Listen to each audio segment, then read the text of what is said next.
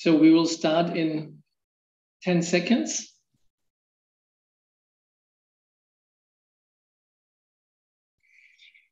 Hello, everybody. Welcome. Good afternoon. Welcome to another EANS webinar.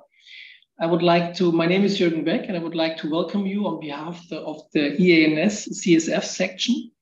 And we have another leak webinar today. This one, there is the, I think, the, the real leak webinar because neuroradiology is giving talks today, and there's a very appealing title. How can your neuroradiologist help you? It's all about spinal CSF leaks, and we try to, to give you an update in diagnosis and management.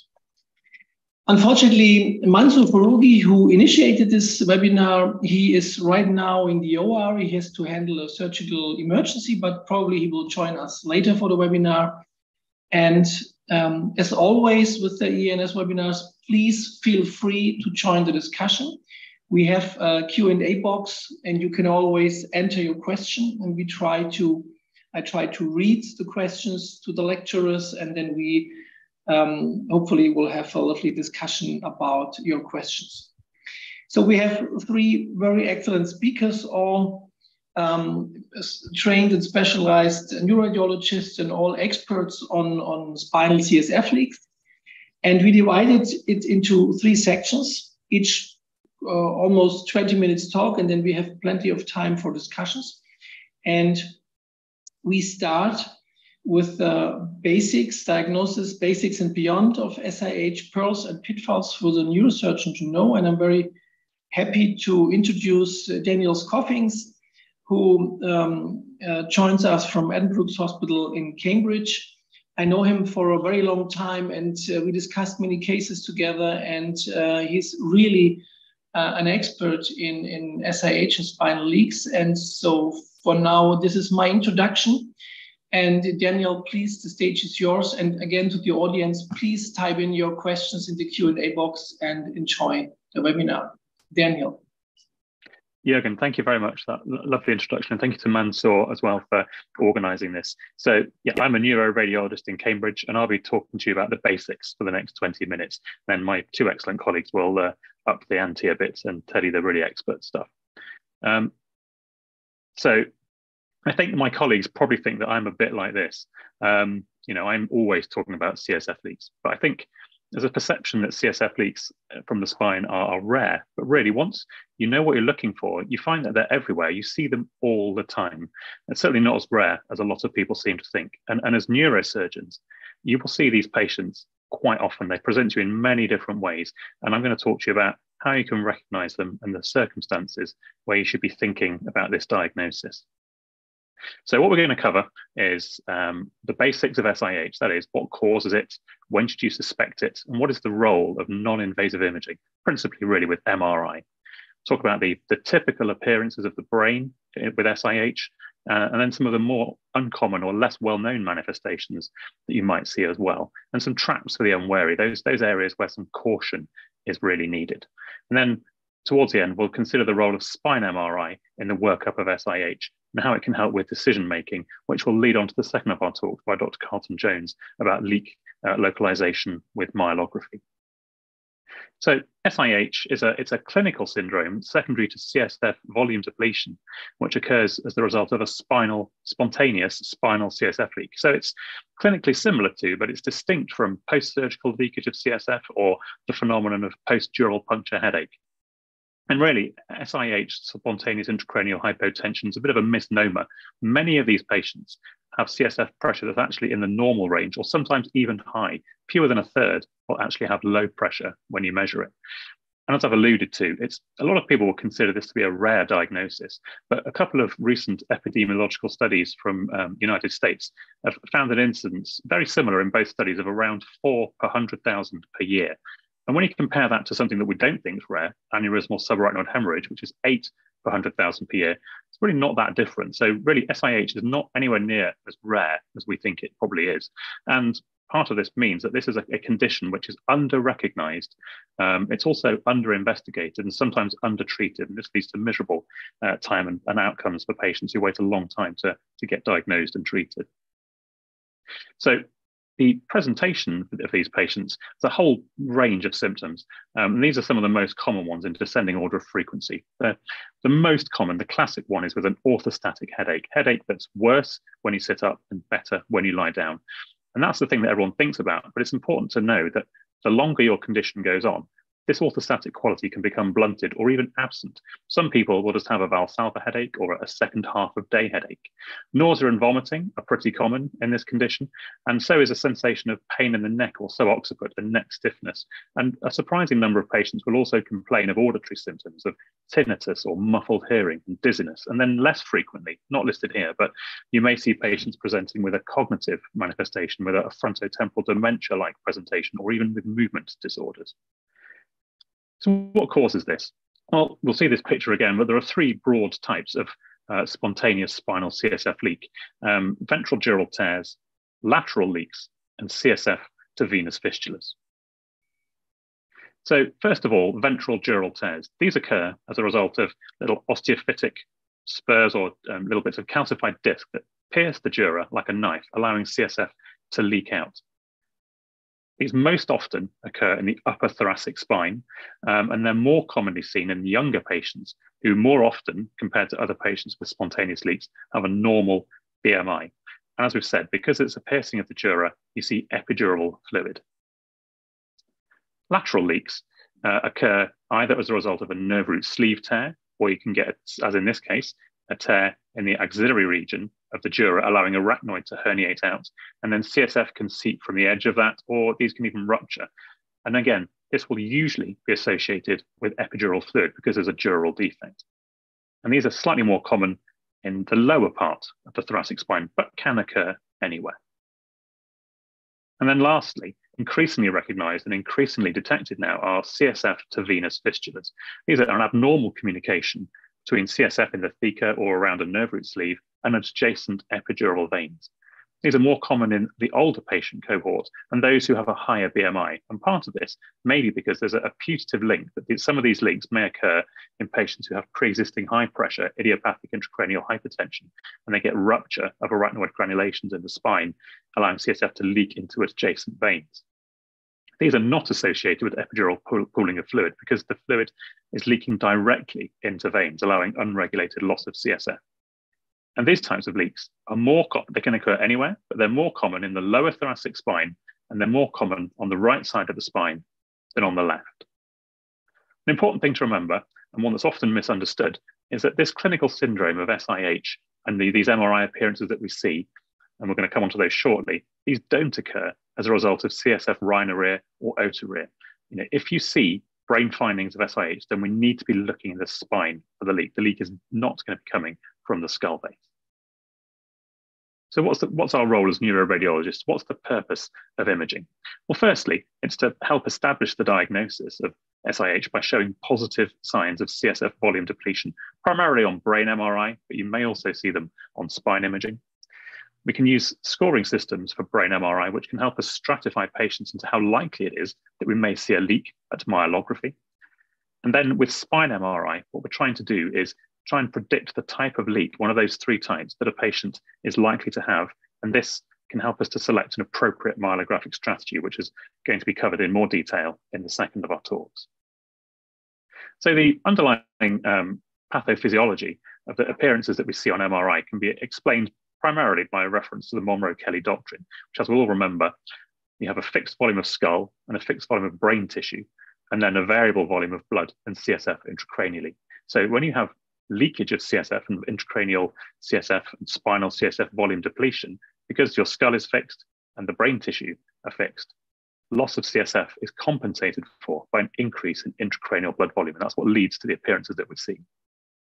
And the most widely known and best recognized of these is diffuse pachymeningeal or dural thickening, best seen on T1 weighted imaging, with smooth, concentric, smooth thickening of the dura over the cerebral convexities, but also often seen in the posterior fossa and very often going into the internal auditory canals and even from the back of the clivus down into the spine. And this occurs as a result of vascular congestion of the meninges from the increased blood volume. Now, this smooth dural thickening is in contrast to the nodular, irregular thickening that we see in patients with inflammatory um, hypertrophic meningitis or infective or neoplastic uh, meningitides. As we said, this is best seen on T1 weighted imaging, this sequence on the left here, but you can see it very well on a FLAIR sequence. And a lot of patients will have initially been investigated without contrast. Um, and you will still be able to see dural thickening on a FLAIR sequence even without contrast. And so it's not necessary in those instances to recall the patient just for contrast. But when we're doing the scanning, primarily we would include contrast in the protocol, um, but it's not absolutely essential. So I would never recall someone just to give contrast if I'd seen an appearance like this. I would be happy this was dural thickening. Another important thing is that this dural thickening has a time dependent appearance and it can decrease over time. So this is a patient at presentation and then who neglect, uh, not, not neglected, they declined to have any treatment of any kind. And then at one year follow up, their symptoms had improved and their dural thickening has also resolved. But this appearance can also be seen in patients who remain symptomatic. The dural thickening can diminish over time. And so it's important to remember that patients who've been symptomatic for a long time, you might not see dural thickening because you're scanning them late. And if we'd scanned them earlier in their disease process, we may have seen this appearance. So the next common finding that we see in patients with spontaneous spinal CSF leaks is subdural fluid collections. And these are usually, but not always, bilateral. They can occur unilateral, but uh, unilaterally, but typically they're bilateral, overlying the cerebral convexities, and they range in size from these thin film-like subdurals to larger hygromas or even frank hematomas with mass effect. And in, in an individual patient, they can progress from one to the next. So this is a patient who started with fairly thin uh, subdural effusions which then got a bit of blood in them. You can see a blood fluid level here as a bit of bleeding has occurred. And then this has undergone significant expansion. And this is one of the common ways in which SIH presents to neurosurgeons.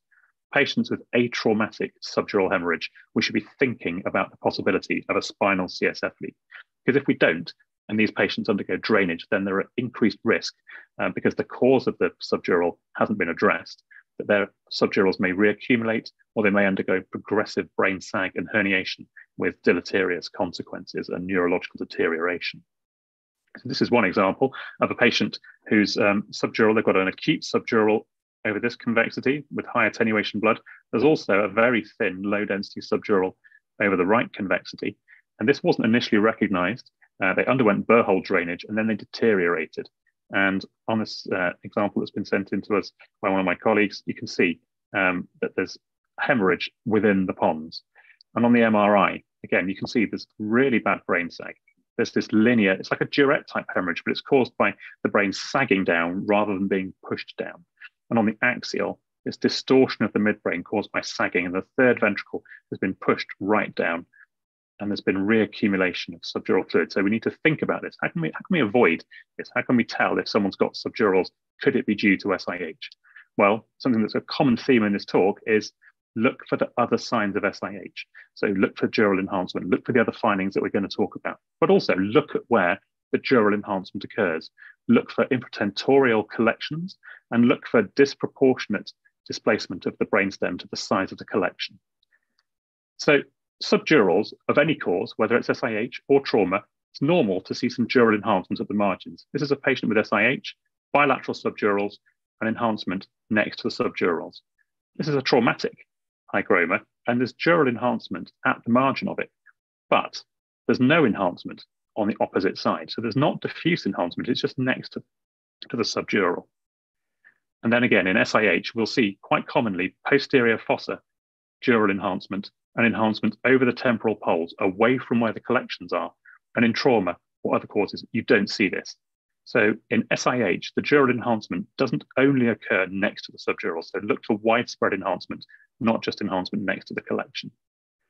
As I've mentioned, infratentorial collections are quite common in SIH and they're not that common with trauma. So when I see someone who's got bilateral subdural collections and there's also fluid under the tent, then I'm raising the spectre of SIH as the cause.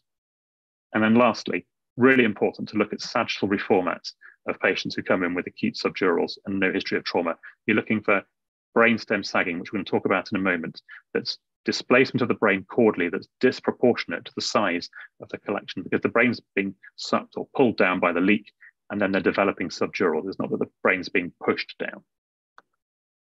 So venous distension is a very dynamic finding. It's one of the first to appear when someone gets a leak, they get an increase in blood volume. And when the leak's successfully treated, it's one of the first to disappear.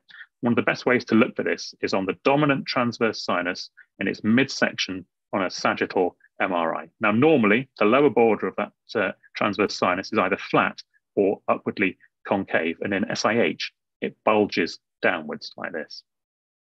But you can also see venous distension in other sinuses. So here, quite often we'll see a rounded cross-sectional profile of the posterior part of the superior sagittal sinus just above the torcular. And on the same slides, you can see lateral bowing of the margins of the straight sinus, which normally they bow in a bit. And quite commonly in these patients, we'll just see real distension of the straight sinus. Enlargement of the pituitary is another way that these patients will present neurosurgically. We see a few of these in our pituitary multidisciplinary team meeting each year. Um, you get engorgement of the pituitary because of venous congestion. Um, they can get mild hyperprolactinemia because of a stalk effect. And so that can also lead to confusion with um, an adenoma or in some patients with hypophysitis. This is a finding that's easier to recognize in men and older patients because they tend to have a smaller pituitary. In young women of childbearing age, and in whom the pituitary is normally relatively prominent, it can be quite difficult to spot this.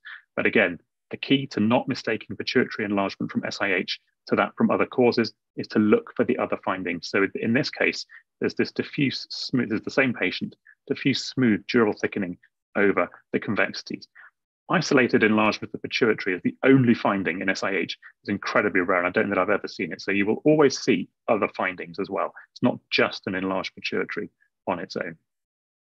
Now, sagging of the brain uh, can vary in severity from relatively mild to really quite marked. And there are a number of different ways you can assess this. I tend to just eyeball it most of the time. There are measurements you can make, there are angles you can measure. They can be helpful in tricky cases, but most of the time, it's fairly obvious that the brain looks saggy. And really, the measurements I reserve for the for the really mild cases.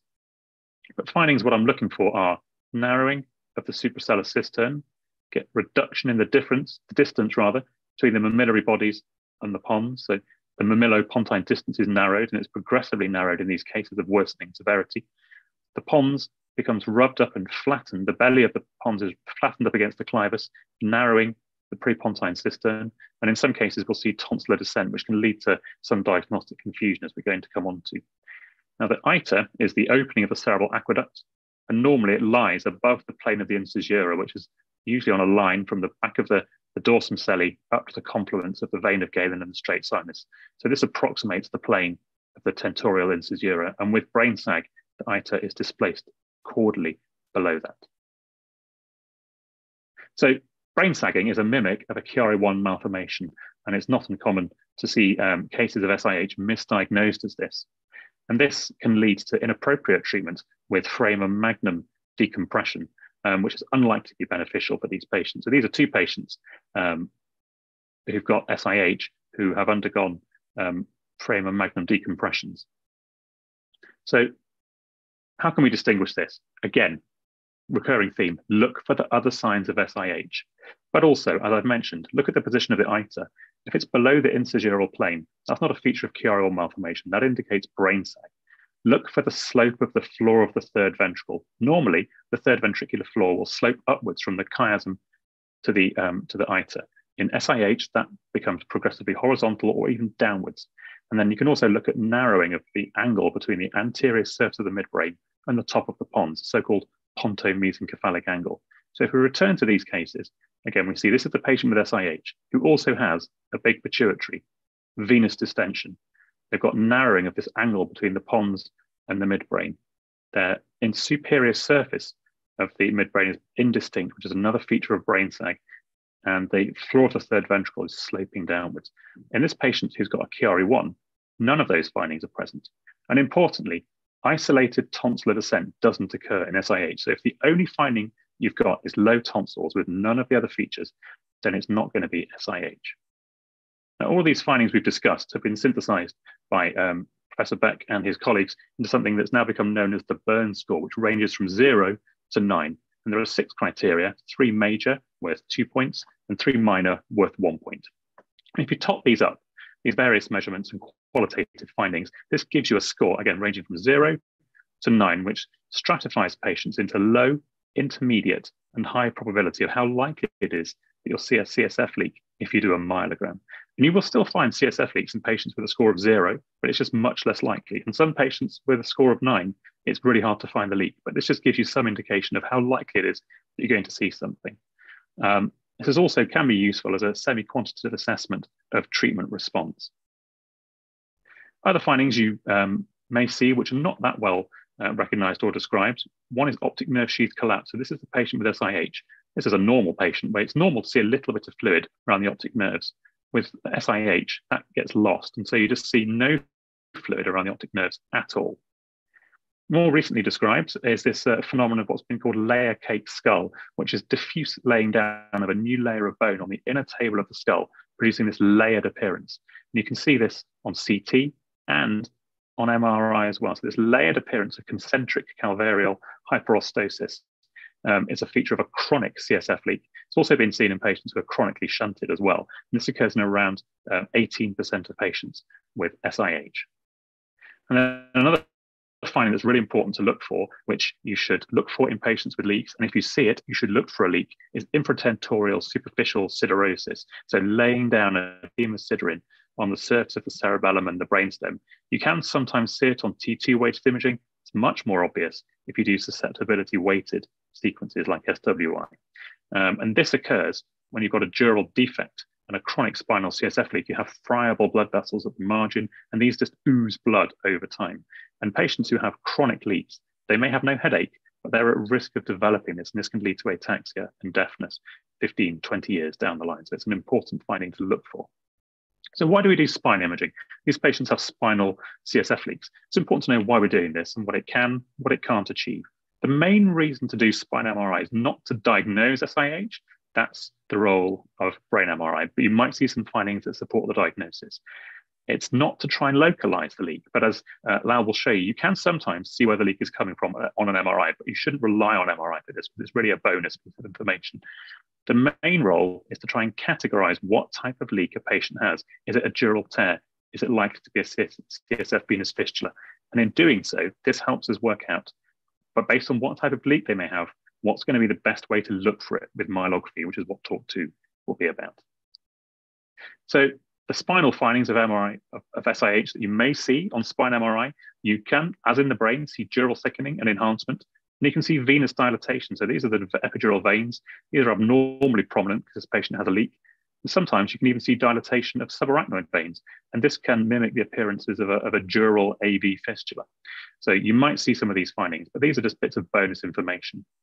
Something that we should be aware of and not fall into the trap of is what's been termed the C12 false localizing sign. And what this is, is high signal from fluid, so best seen on T2 weighted imaging with fat suppression, so it's sensitive to fluid, in the interspace between C1 and C2 and in the adjacent paraspinal muscles. This is not where the leak's coming from. This is a patient who has an epidural leakage of fluid, and that fluid tracks up and then it's just coming out at this level, but this isn't where the leak comes from. So it's important, if you see this, doesn't mean they're leaking from the cervical spine. The leak is usually in the thoracic spine. The key finding, the thing we're looking for in order to determine what type of leak someone has, is this thing called a spinal longitudinal epidural collection, sometimes abbreviated in the literature to SLEC. And this is epidural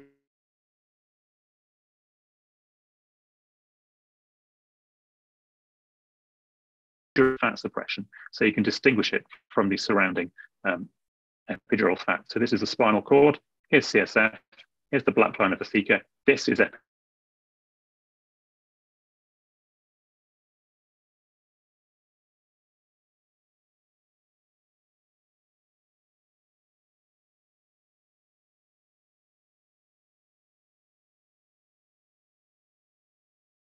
Daniel, can you can you hear me?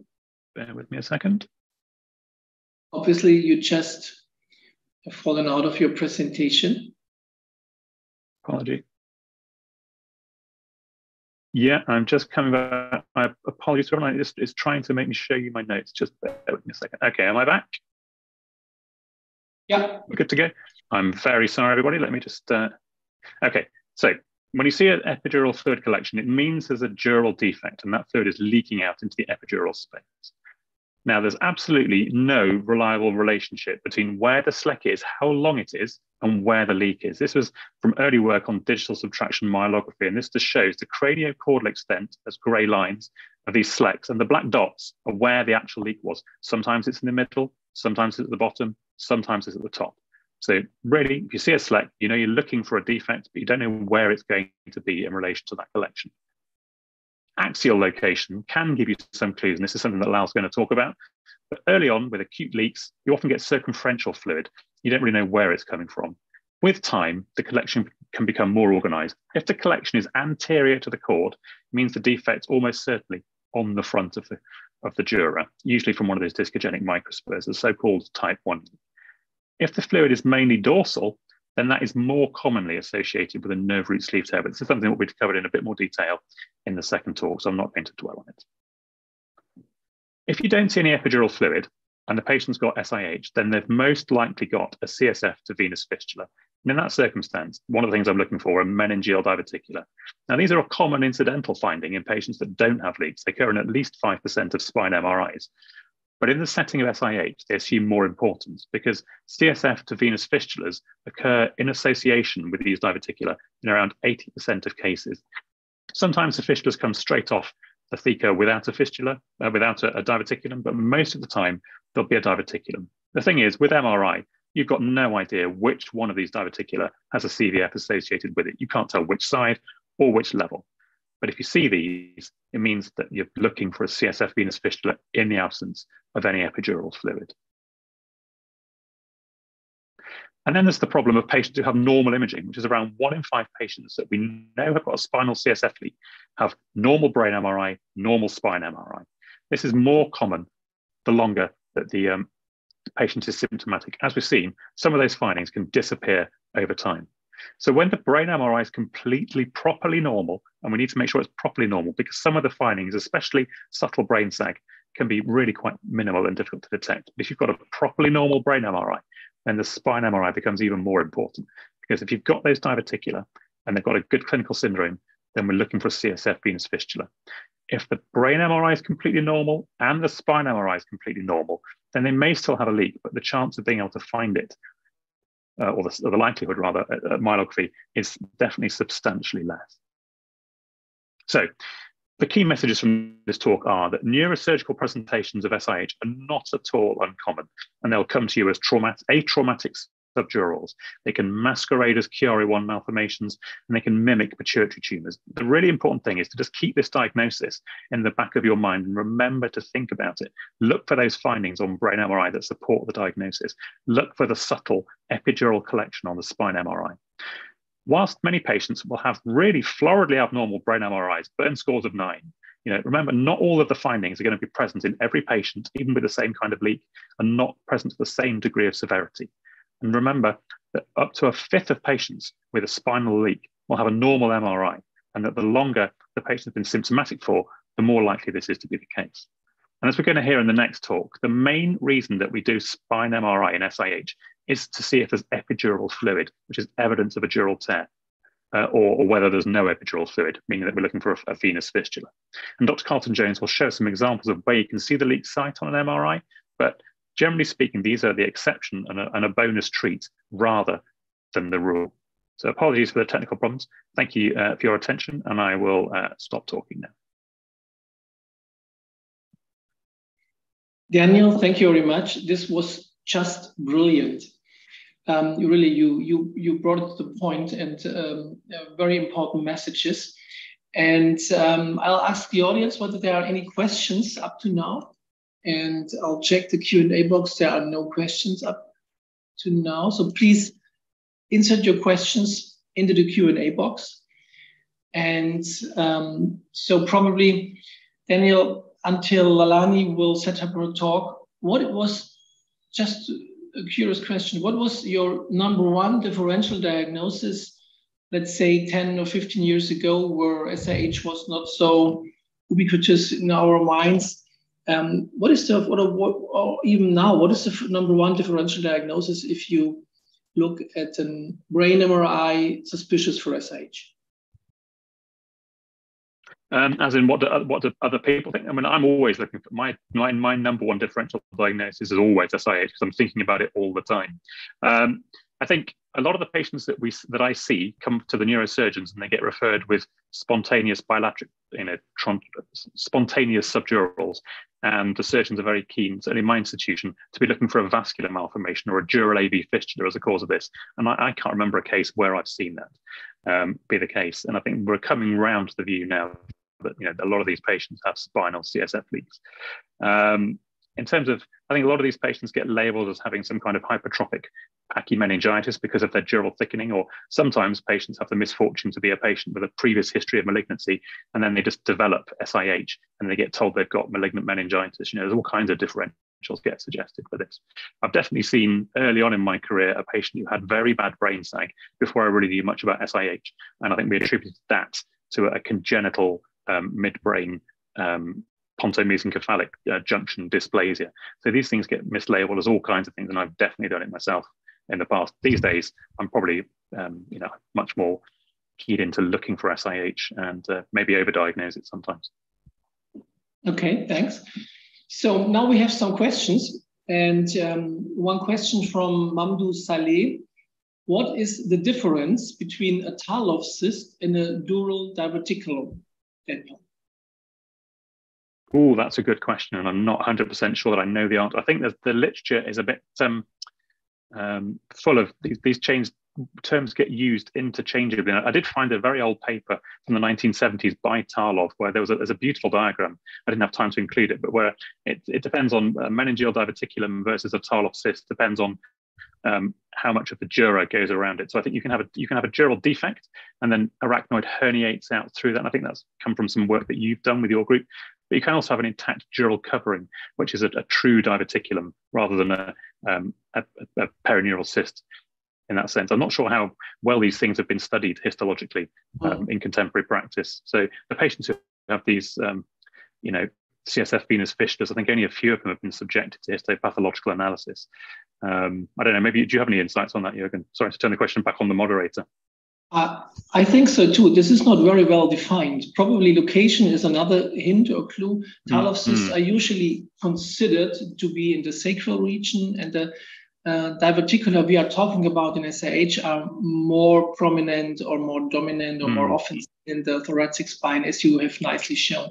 But um, I'm quite sure there is no clear cut. Uh, overall agreed definition what is the difference between a Tarlov cyst and a diverticulum? This is a good question, and I'm mm. asking this question myself always, but it's very, it's, I think it's important to not to treat the sacral, more lateral um, cysts, which are, I think, Tarlov cysts as the cause of SIH, and to, to jump on these Tarlov cysts and uh, oversee the real leak at the thoracic spine. Mm. Yeah. We see, you know, we we often, um, a lot of us will see Tarlov cysts commonly, but I've I've not, in certainly in my experience, seen any leak from a Tarlov cyst as such. You know, when we have dural ectasia and, and and cysts associated with that in the sacral spine, that's different, and we have seen leaks from those, but not. And you know, your group has obviously done work on that, but Tarlov cysts per se, I haven't seen leaks from those specifically. Mm-hmm. Exactly. And I just read another question from Farouk Zulfikar. Sometimes CSF leak is suspected with the findings of tonsil herniation with postural headache. Unfortunately, these patients already had foramen magnum decompression with false diagnosis of Chiari 1.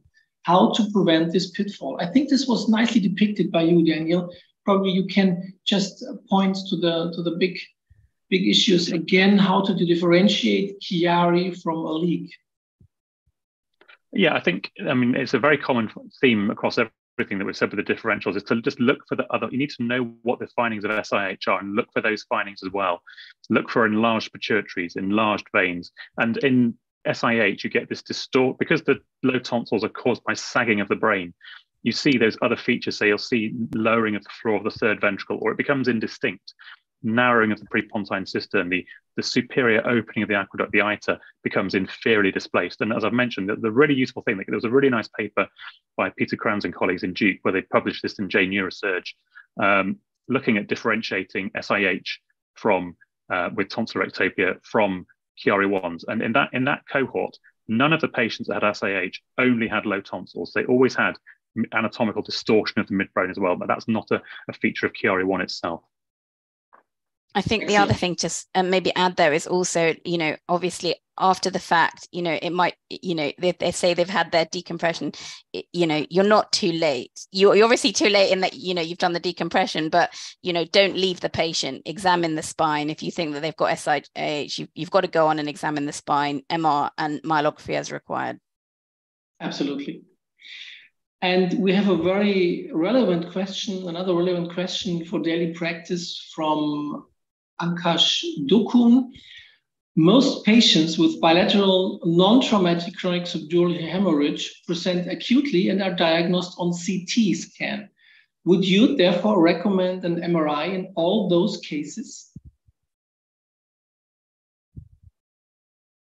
Uh, okay, I'll, I'll, well, I mean, as I've mentioned, and this is something I picked up from Lal's uh, talk that she gave in, in Naples about this topic, but using the sagittal reformats of head CT, you, can, I mean, MRI is the best test for looking for all of those findings that we've discussed, but you can pick up some of them on CT as well. So you can identify enlargement of the pituitary. You can see distension of the venous sinuses, even without contrast.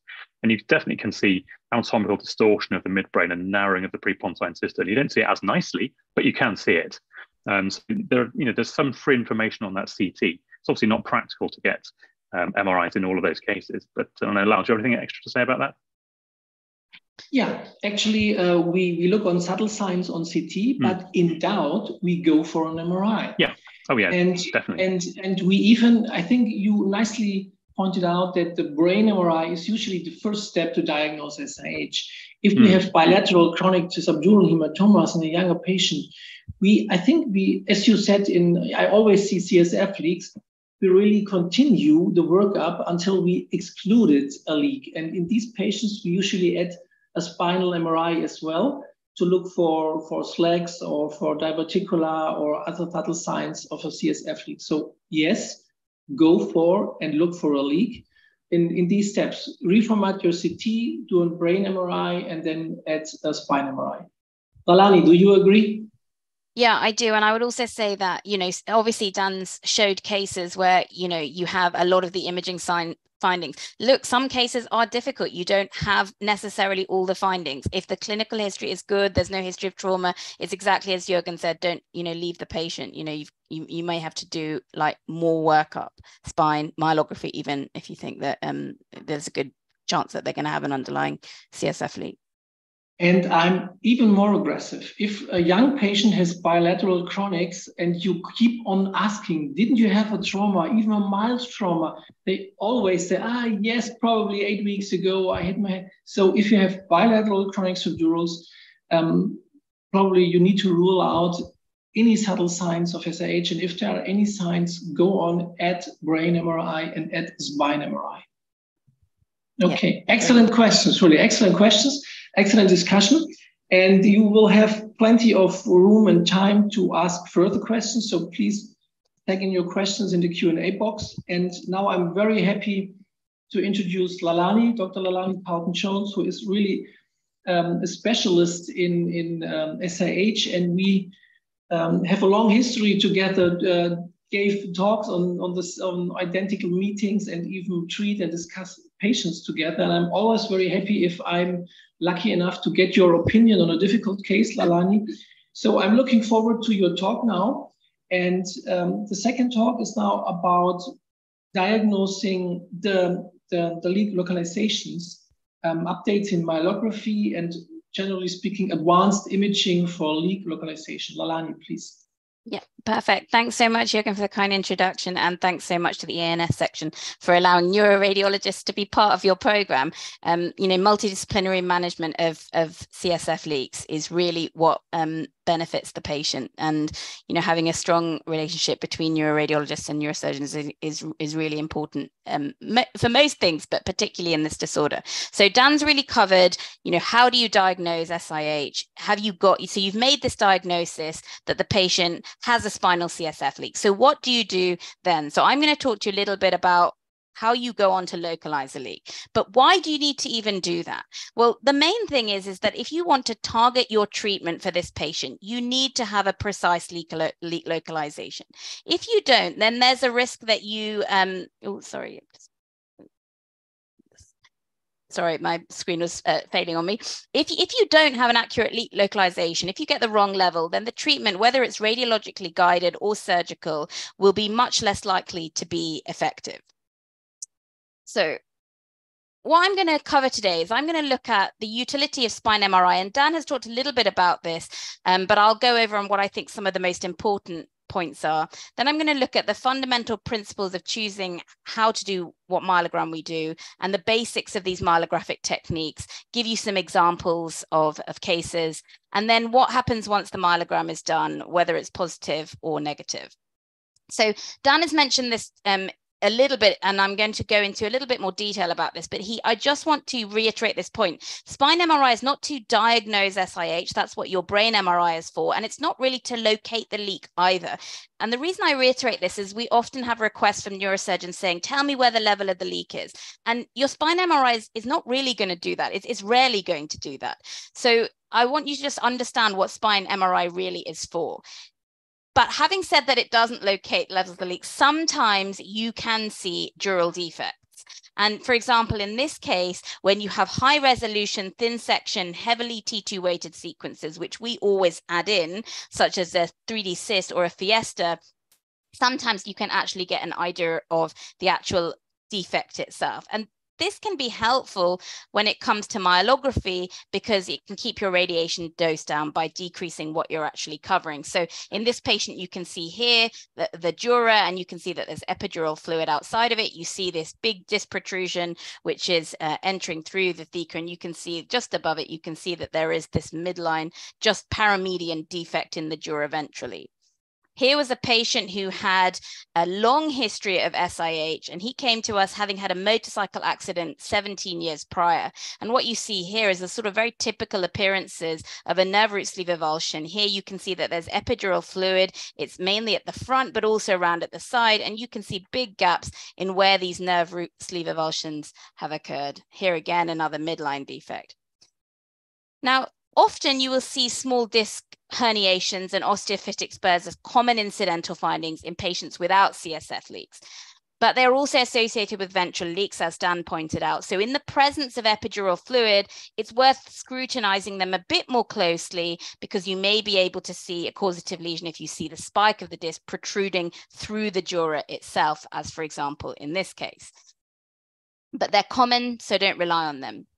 And then we've noticed also that sometimes CSF pulsation artifact can give you a clue. This patient here, you can see they had a big epidural fluid collection that's mainly at the front. So ventrally, we know there's going to be a ventral dural defect. You can see she's got clear findings of SIH, the dural thickening, venous distension. And actually, what we have here is a very large ventral dural defect.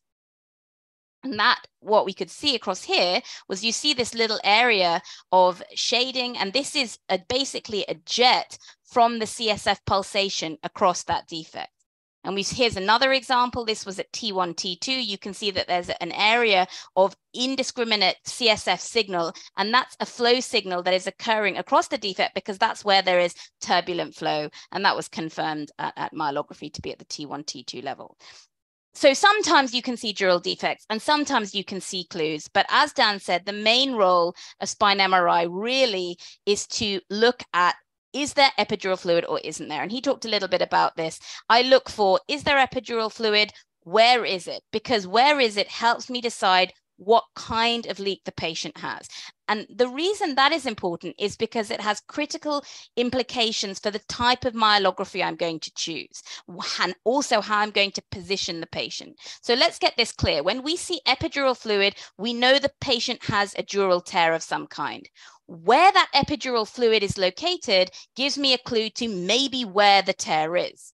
So I think Dan also showed a similar picture to this, but when there is mainly fluid at the front, I'm thinking there's mainly going to be a ventral dural tear, probably as a result of a discal spur or a little bony spur. Sometimes you don't see the bony spur at all. In fact, often you don't on MRI. So you don't necessarily use that as a clue. And as Dan said, the extent of where the fluid is doesn't really help guide you much as to where the, the leak site is.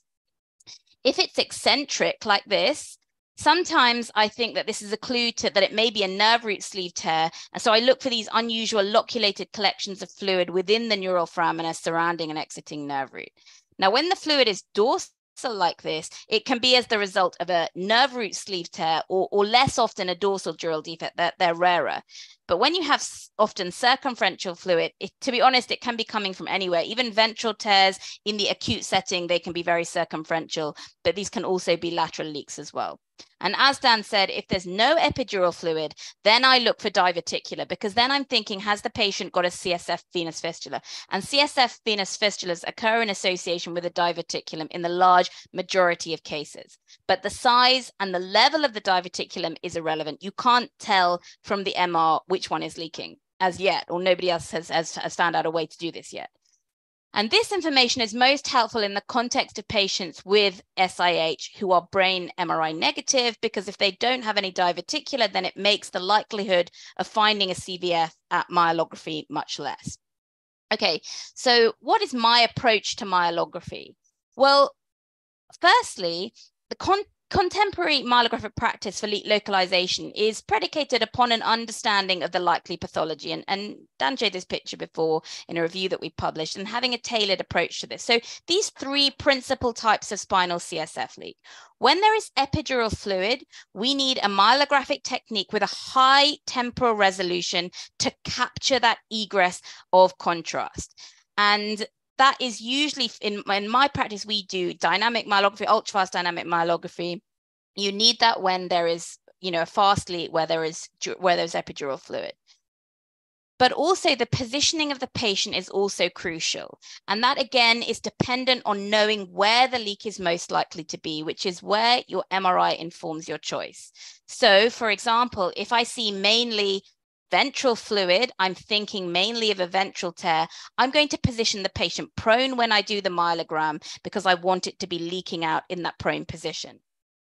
When the patient has maybe more lateral fluid or the fluid is eccentric, I'm thinking about a nerve root sleeve tear or a lateral leak, that's more likely. So we put the patient decubitus with the side where the most epidural fluid is. And when I'm thinking that the patient has a CSF venous fistula, so this will be where they don't have epidural fluid on the MRI spine, then again, you have to position them with the decubitus positioning and you have to examine both sides because you can't tell from the MRI which side a fistula is going to be on. They're slightly more common on the right side, but you have to look at both sides. So what are the different myelographic techniques that are available to us? Well, the main thing is we hear time and time again, or, you know, from, from various institutions, you just can't find these leaks with myelography. My, myelography has changed over the last 10 years. You can find leaks, but you have to choose the right myelographic technique for the suspected leak type. And to be honest, there's no role for this anymore. We still see these kinds of myelograms sent to us where the patient has had a lumbar puncture done in the fluor in fluoro, they've injected contrast, and then they've done the CT scan 30 minutes later. In, in, from my point of view, there's no point in doing this. You're really the contrast will have leaked into epidural fluid by the time the patient gets around to the CT scanner, you'll miss the point of the leak. And CSF venous fistulas are often very hard to detect this late on because the contrast density has reduced by the time you've got the patient to the scanner. So these are the kind of um, there's there's different techniques that are available now, and most of them can be divided into CT myelographic techniques and fluoroscopic myelographic techniques. I'm I'm not really going to say much about MR myelography, where with direct intrathecal injection of GAD, it you can do it. It's an off-license technique and we haven't found it particularly useful. It may have a role in the future. Uh, I, I, think you should consider this maybe a, a third line technique. Um, and really, what you choose depends on what your neuroradiologist is most comfortable. There's there's no real direct evidence comparing these techniques. No one best method. The method that we'll choose will depend on what your neuroradiologist is comfortable with and what they have in their department. And the important thing here is to use a meticulous technique and be comfortable with that. So the two methods which I use most frequently are lateral decubitus CT myelography to look for CSF venous fistulas and ultrafast dynamic CT myelography to look for, for dural tears. So for example, this is, this is an example of one of my technicians. If a patient has a ventral dural tear, and I will suspect this because they have mainly ventral epidural fluid, I'll be putting them on a wedge because I want to get a craniocaudal slope to ensure that the contrast runs down. And then I'm going to be doing some runs up and down the spine. We're acquiring an acquisition whilst we are injecting contrast. And it has to be fast because the contrast is going to be egressing at that time. So we're going to go up and down the scan whilst we give the contrast. For looking for CSF venous fistulas, we do a lumbar puncture again under CT guidance. We give a contrast. We split the dose uh, between both sides again, they're on their side, but again, they have to have a slight tilt because we want contrast to be going up, but we don't want it to be pooling too much in the head. We want to stick it in the thoracic spine because that's where most CSF venous fistulas are. So this is less time dependent. It's more density important. You've got to get a good layering of contrast along the spine. And, but it's still a little bit time dependent. You don't want to be waiting a long time because the density will go down and you do need to look at both sides and we do this both sides in the same day we found that we're, we're pretty successful at, at doing this and we turn the patient with the needle in we can do this pretty carefully now so mostly I use CTM, but sometimes I use fluoroscopic methods because these give a really nice temporal resolution of imaging leaks. So one example is uh, something called digital subtraction myelography. And this is where we're essentially have the patient on an angiogram table. We've used digital subtraction to get rid of bone. We're injecting contrast and we're looking for the point of CSF leak. Now, here I've positioned the patient prone because I'm thinking about a ventral tear, and this is an example of one. I'll go into this example later. Here the patient's on their side. This is when I'm thinking about a lateral fast leak or a CSF venous fistula. Again, you have to examine uh, both sides. Better to do it on different days because of the way that the subtraction works.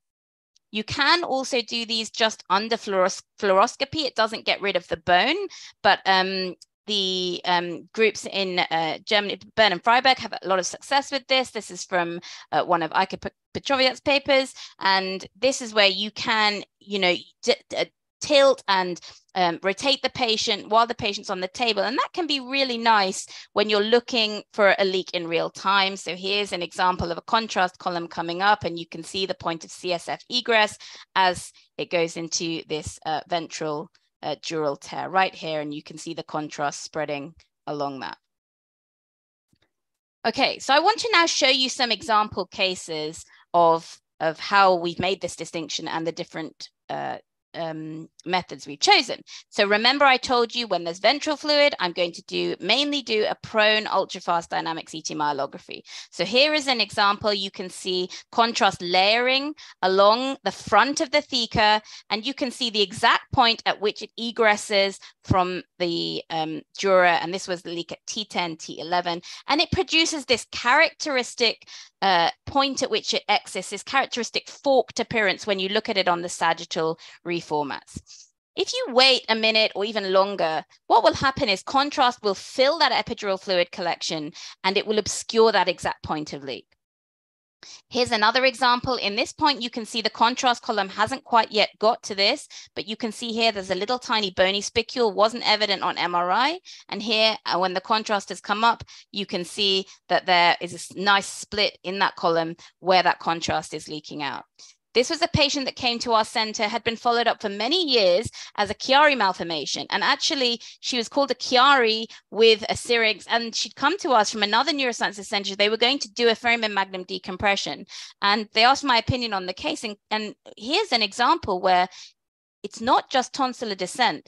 Look at the midbrain. It is squashed against the pons. The pons is flattened. You can see that this is not, this is brainstem sag. It's not just tonsillar descent. But look at all the other findings. You can see she has venous distension, pituitary distension. And so she has this syrinx just because she's got disordered flow around the craniocervical junction. It's not a Chiari. And you can see here, hopefully I've made this clear. You can see here she has this ventral epidural collection, which had been missed for years. And so we went on to perform an ultra fast dynamic myelography. You can see that it's mainly ventral fluid, though is a bit eccentric. And here what you can see is you can see just this little hair of contrast, which is egressing at the T11, T12 level. Now, I, di- I didn't see this on the scanning table. I actually saw this later and I'd done a final run and this run was done at around, I say, I put delayed, it was done around a minute. And you can see how rapidly that uh, that epidural collection fills. Just, just to show you, you know, you've got to be fast with these kinds of leaks in order to see the point of leakage. Here's an example of a digital subtraction myelography. You can see the contrast coming up and you can see the exact point at which it's egressing in the spine. This was a leak at T4, T5. So these are really nice for showing temporal examples of, of CSF leak. So here, the point of dural tear, contrast exiting theca and contrast filling that ventral epidural fluid collection. Now, when we see more lateral fluid, I'm thinking about a lateral ultrafast dynamic CT myelogram, I put the patient in the lateral position and I again do these dynamic runs. Here's an example here where I was suspecting there was going to be a leak on the left side. And what you can see here on these consecutive passes shows this filling of this diverticulum, but then you start to see the epidural leakage and then the leakage which extends almost beyond the um, uh, the, the pedicle as well. Here's another example of a right T10 nerve root sleeve tear. You can see here very eccentric fluid collection. Here you can see the epidural contrast leakage, and you can see this little contained collection which was around this T10 nerve root sleeve. And just to show you that on some on some of the earlier ones I did where I didn't do them lateral, you can still pick up these nerve root sleeve tears when you even put the patient prone. So this, the, the contrast is layering prone, but you can see that there's progressive accumulation of contrast within this right T11 a neuroforamen uh, Uh, indicating that this was the site, site of leakage. And you can see here this contained collection of epidural contrast, but it's particularly dense around that right T11 nerve root sleeve. Okay, now, if I'm thinking there's no epidural fluid, I'm thinking about a CSF venous fistula. And in this case, I'm going to perform a lateral CT myelogram most of the time. And this shows you your typical appearance of a CSF venous fistula. Okay, so we can see that there's layering here of contrast on the right side because the patient's lying on the right side. Here you see that it's filling this diverticulum, and right in front of it, you see that there is this vein that starts to drain, and then it goes and, and runs in a paraspinal location, heads off to drain to the azygos. Now, that draining, that draining vein is not the fistula. That's just the draining vein. The fistula occurs around this diverticulum. Here's another example. This patient presented with chronic headaches. We see that layer cake calvarial hyperostosis Dan was talking about. This time, what you can see is that she has an, an abnormal network of veins around this diverticulum on the left at T5. And you can see there's all these irregular squiggles that fill with contrast. And then you see some drainage that drains into the internal epidural venous plexus here. It then traverses across this vertebral body as a transosseous vein and then drains on the right side, that, that transosseous vein. So remember the fistula is around that nerve sleeve diverticulum or nerve sleeve most of the time. Uh, it's that the drainage pathways can vary. Here we have an example of a left T1 fistula. You can see that there's multiple draining veins. There's a draining vein that heads off in this um, in, uh, intercostovertebral space, and this had several draining uh, venous networks. This is one where there was a fistula around the T7 level, but there's a main draining vein that goes down in that cost, costo uh, transverse groove and then drains to the next level below. So the drainage vein is actually at T8, but the original fistula is at T7, the level above. And you can see that there. Now, just to show you, fistulas can have lots of different variable appearances. Here you can see this myelogram's been done with the patient on the left side. You can see contrast dependent here. And what you can see is this diverticulum here, but then there are all these little irregular squiggles that are around this diverticulum. And these are all contrast filling these internal epidural plexus veins. So it doesn't really have any paraspinal drainage. This is all internal epidural plexus drainage. And just to show you, this was from one of the, you know, an earlier myelogram. This was a myelogram done by a colleague a while ago looking for CSF leak. At this time, we didn't know about this, but just to show you, look, you can actually see evidence of a fistula even when you haven't done this decubitus. You can see here, there are all these little irregular squiggles that fill around this nerve root sleeve. And that is that uh, abnormal network of that CSF venous fistula. But so it's just to show you, you can sometimes see it on these cases, but if you're suspecting it, don't do it like this. Do it as a lateral acquisition because you're more likely to expose that nerve roots. Here is an example of a digital subtraction myelography, just to show you an example of a CSF venous fistula on this. I think this is a really nice technique if you haven't found anything on CT myelography or you're suspicious and you're not sure about an area, your, your, your, um, your radiologist can go on to do this. And this is the workhorse in some, you know, really high volume centers at Cedars-Sinai. They do a lot of this. They're very experienced with this. I think this is great if you can get access to to um, general anesthetic because it does require the patient to, to stay quite still. But what we see here is towards the end of this run, you can see here's the diverticulum. You can see some irregular squiggles around this. And right at the end, you see this draining vein that starts to flicker and fill with contrast really right towards the end of this run. And it happens right at the end. You can see that draining vein. So that's the example, contrast layering on the right side. You see the meshwork of these radicular veins, and then you see a flickering draining vein. Okay, so I want to finish up with just talking about some pearls and pitfalls. So you may think, what do I offer in my institution? Do we offer CTM versus DSM? I mean, there's no right technique, as I as I told you. It comes down to personal preference and experience. I like CT myelography because I can get a better coverage of the spine. Digital subtraction myelography is limited to the size of the detector. Uh, CT myelography, you can often also see indirect signs. So when you see this, which is here's the kidney, here's the renal pelvis. This is renal contrast excretion. You don't see this in myelograms done for patients without leak until at least two hours after the examination. If you see it before then, in this case, it was immediate, you know that there's going to be a CSF leak, most likely a CSF venous fistula. So if you haven't spotted it or your neuroradiologist hasn't spotted it, but you've seen this, keep looking or maybe go back and repeat. I also like CTM because certainly in my hands, DSM, we can't get a general anesthetic easily. We really have to book anesthetists a long time in advance, and we therefore have to do this under a local anesthetic. And unless you get the patient sedation, it's it's often prone to movement artifacts. You have they have to do a breath hold. The breath hold can be long. You saw that example of how the fistula flickers only towards the end. Well, if that happens, you know the patient may be not able to hold their breath for that long, but it can be useful in the right hands and in the right setting. I also like CTM because it allows you to treatment plan. So we treat a lot of our uh, leaks with fibrin glue, CT guided fibrin glue. So it allows me to get an immediate same day planning. We do the injection the same day as we do the the diagnostic test. Um, so you know, it, it, it I, I prefer it to for some things, but I do use DSM occasionally. I'll use it if it's for problem solving, if I'm not sure whether what I'm seeing is a fistula.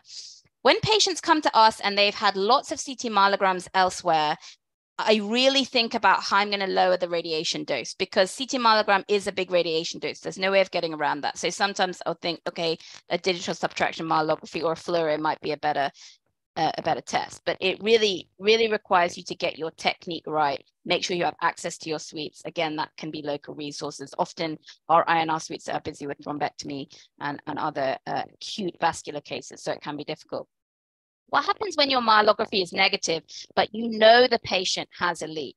Well, this is where I think, could the leak be below the level of your lumbar puncture? Have you done a good myelogram at all? For example, we know that these CSF venous fistulas occur laterally. Have you got good filling of the diverticula? This is a bad example, right? There's there's contrast layering more anteriorly. You want it layering more laterally. Sometimes the patients are quite rotated. You know, I might bring them back, do it again, try and get better layering. And I'll look for the clues like renal excretion. When I know that's there, you've got to Lalani, please, yep. please unplug and replug your microphone. Can you hear me now? Much better. Okay, sorry. Uh, it's a bit temperamental, this headset. Um, so if, if you uh, see renal excretion and you know the patient has SIH, keep looking. If you've had unsuccessful myelography, but you know the patient has a leak, do something different. So this patient came to us. She'd had three unsuccessful CT myelograms at an external institution. Now, this patient was young. She was only nearly 40. She'd had nearly 24 passes of her spine. That's a huge radiation dose. So for me, I'm thinking, what am I going to do that's different? How am I going to find this leak? This patient, you can see she has a big epidural fluid collection. You can see here, big ventral, collection, almost no dorsal fluid. I know she has a ventral tear somewhere.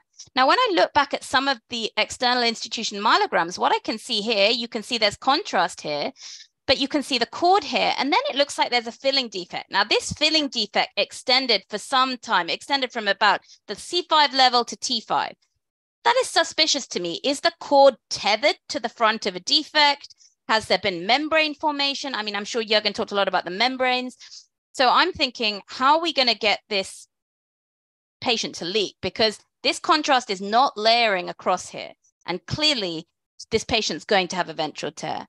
So I was thinking, firstly, the first thing I want to do is I, I, I did another MR. Could I get any clues? MR didn't give any clues. It just shows me the cord is tethered to the defect.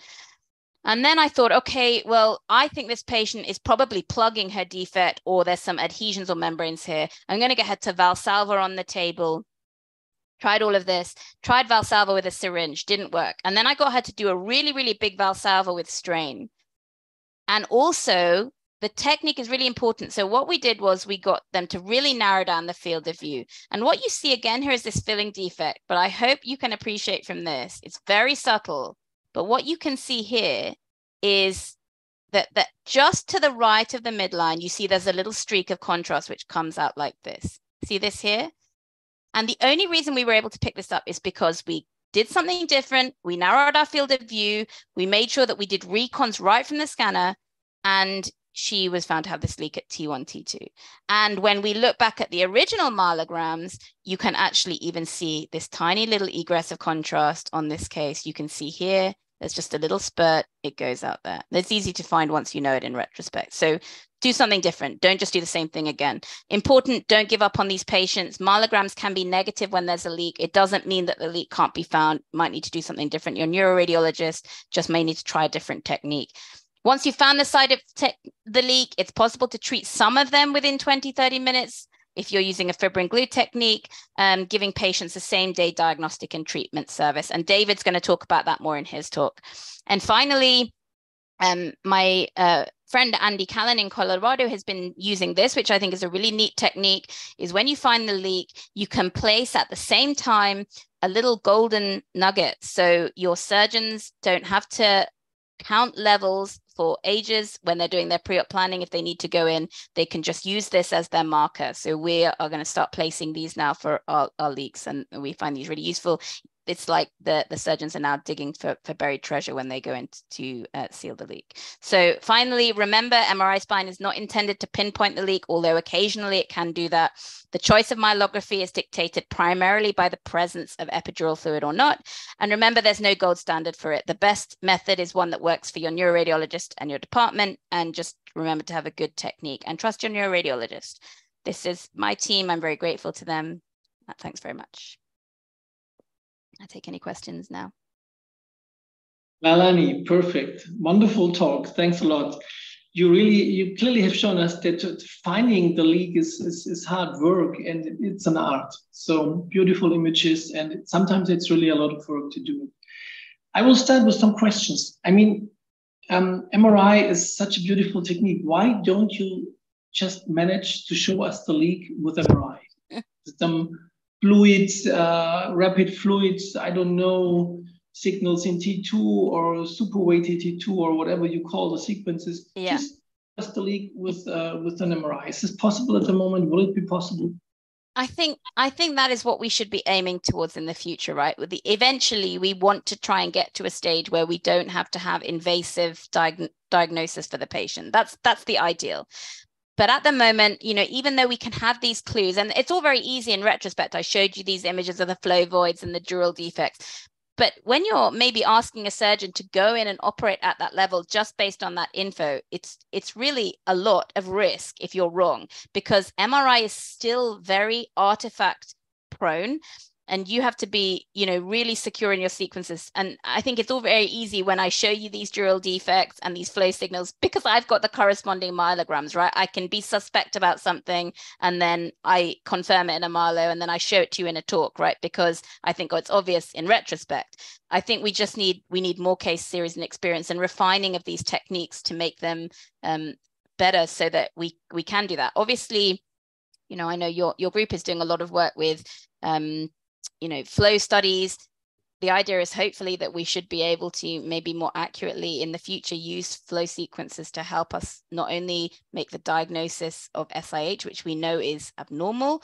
In in uh, these flow studies often show us abnormal uh, cord motion, as you've nicely shown, but also maybe in pinpointing where a leak might be coming from.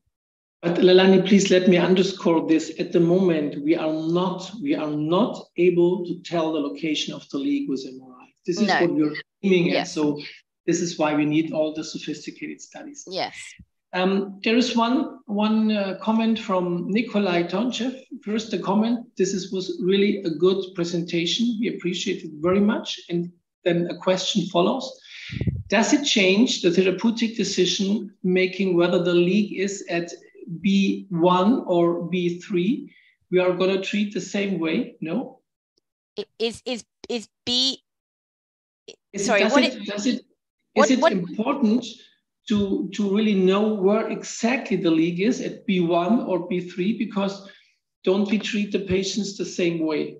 It, when when uh, Jürgen, can I just understand when you when you when they say B, do they mean like thoracic level T1 or T3? Is that what they're talking about? Oh, sorry, yeah, it's it's um, yes, um, it's T, it's T. Yes, exactly. T. Right. Okay. Yes, absolutely. Because if if you're a right, I mean, Jürgen, you'll be able to say more about this. But if you are doing a a, um, a surgical exploration, are you going to do a multi-level exploration? I and mean, that's going to increase your your morbidity and for the patient, right? You want to be able to be as minimally invasive as possible, and you want to be reducing that risk for the patient.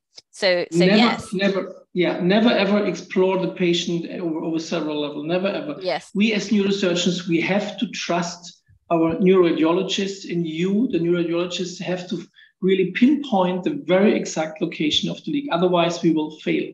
Of course, probably for the first approach, giving a um, uh, untargeted lumbar blood patch, it's not of importance where the leak is in the first time. But once you started all these invasive, those intense uh, imaging studies, then you need to be sure where it is. Period. You need to be sure where it is. Yeah.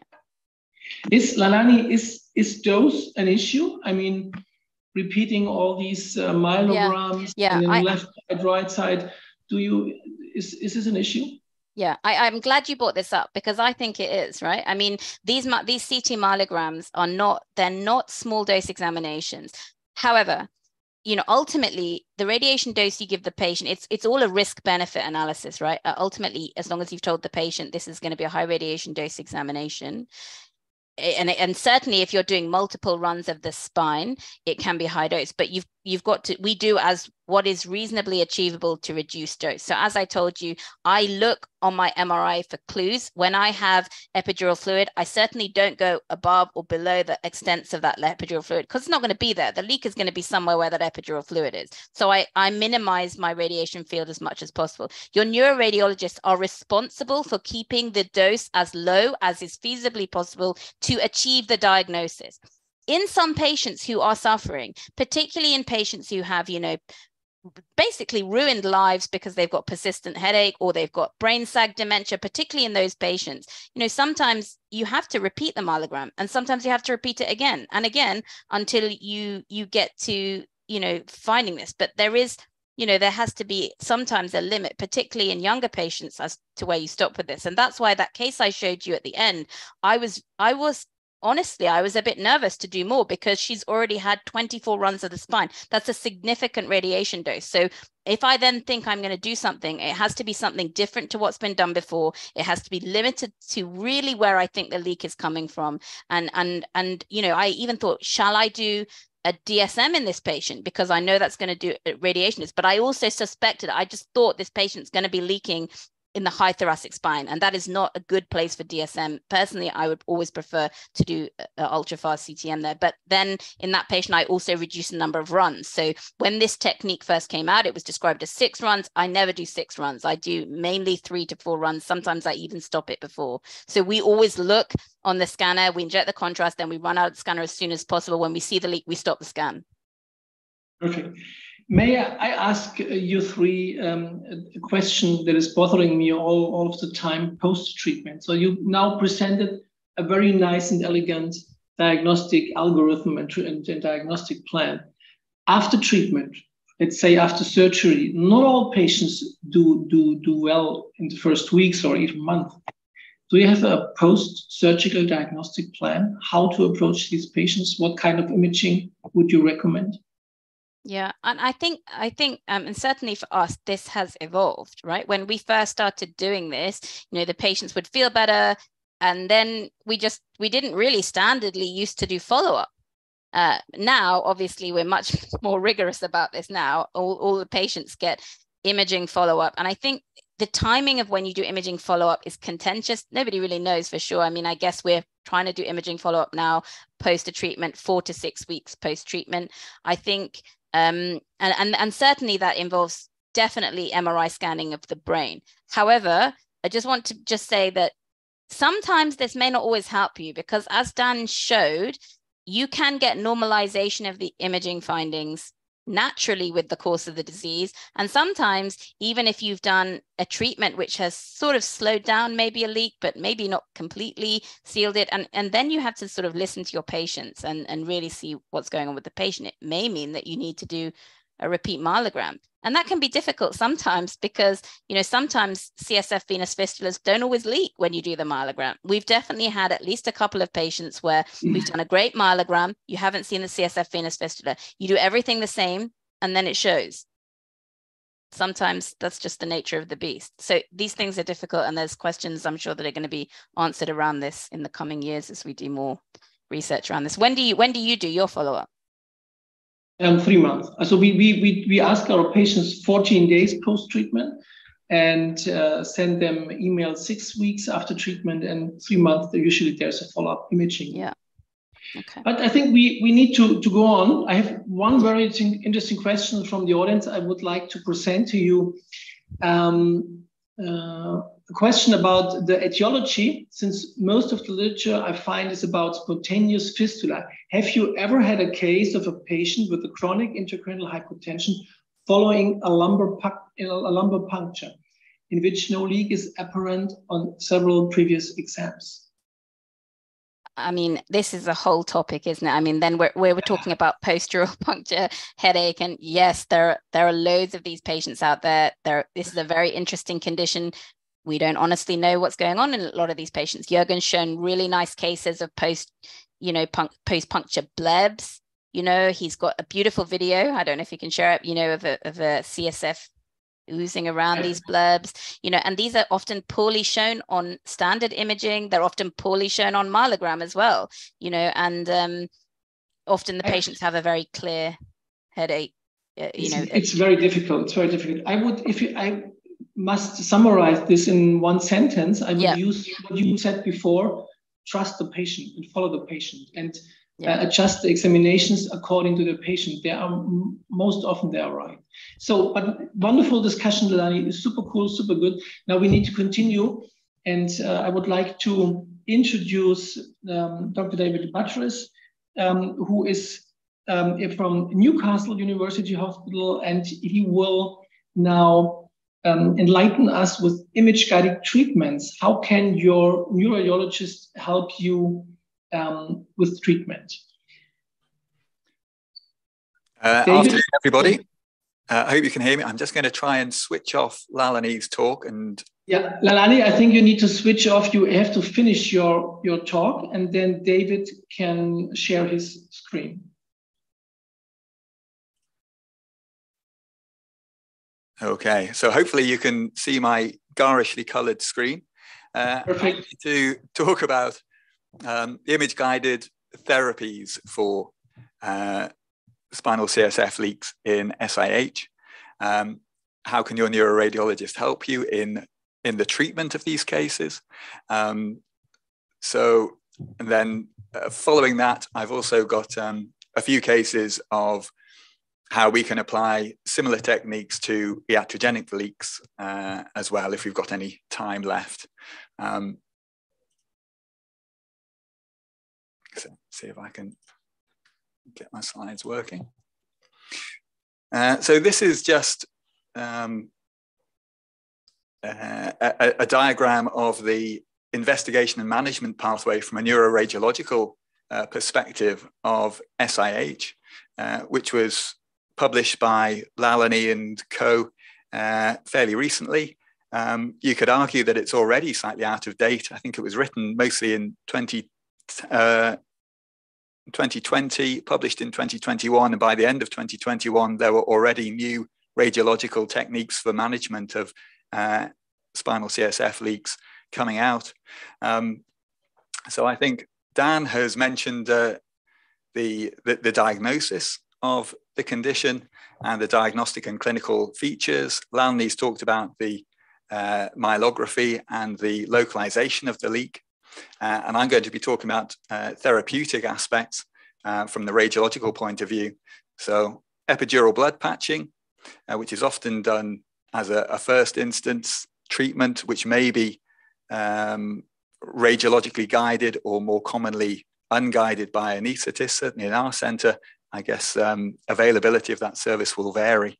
Um, and then mostly I'm going to be talking about uh, fibrin glue patching under CT guidance. Uh, and then I will mention a bit of transvenous embolization, uh, a more recent uh, neuroradiological therapy specifically for CSF venous fistulae um, that has been described uh, over just the last couple of years.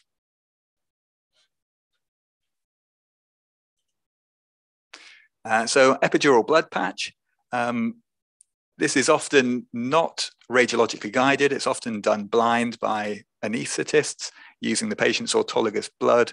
Um, large volumes are better.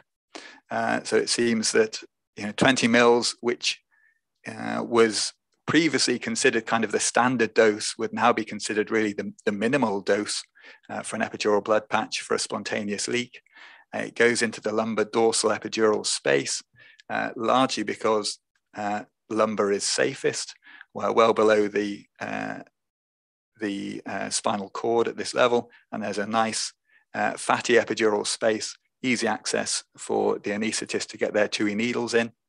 Um, and we find that when we've looked at our data in our center, it's fairly useful. It seems to help patients uh, get significant relief in about 50% of cases. So it's it's uh, still worth doing uh, despite all the other tests uh, and therapies that are now available, um, as well as being potentially a decent treatment.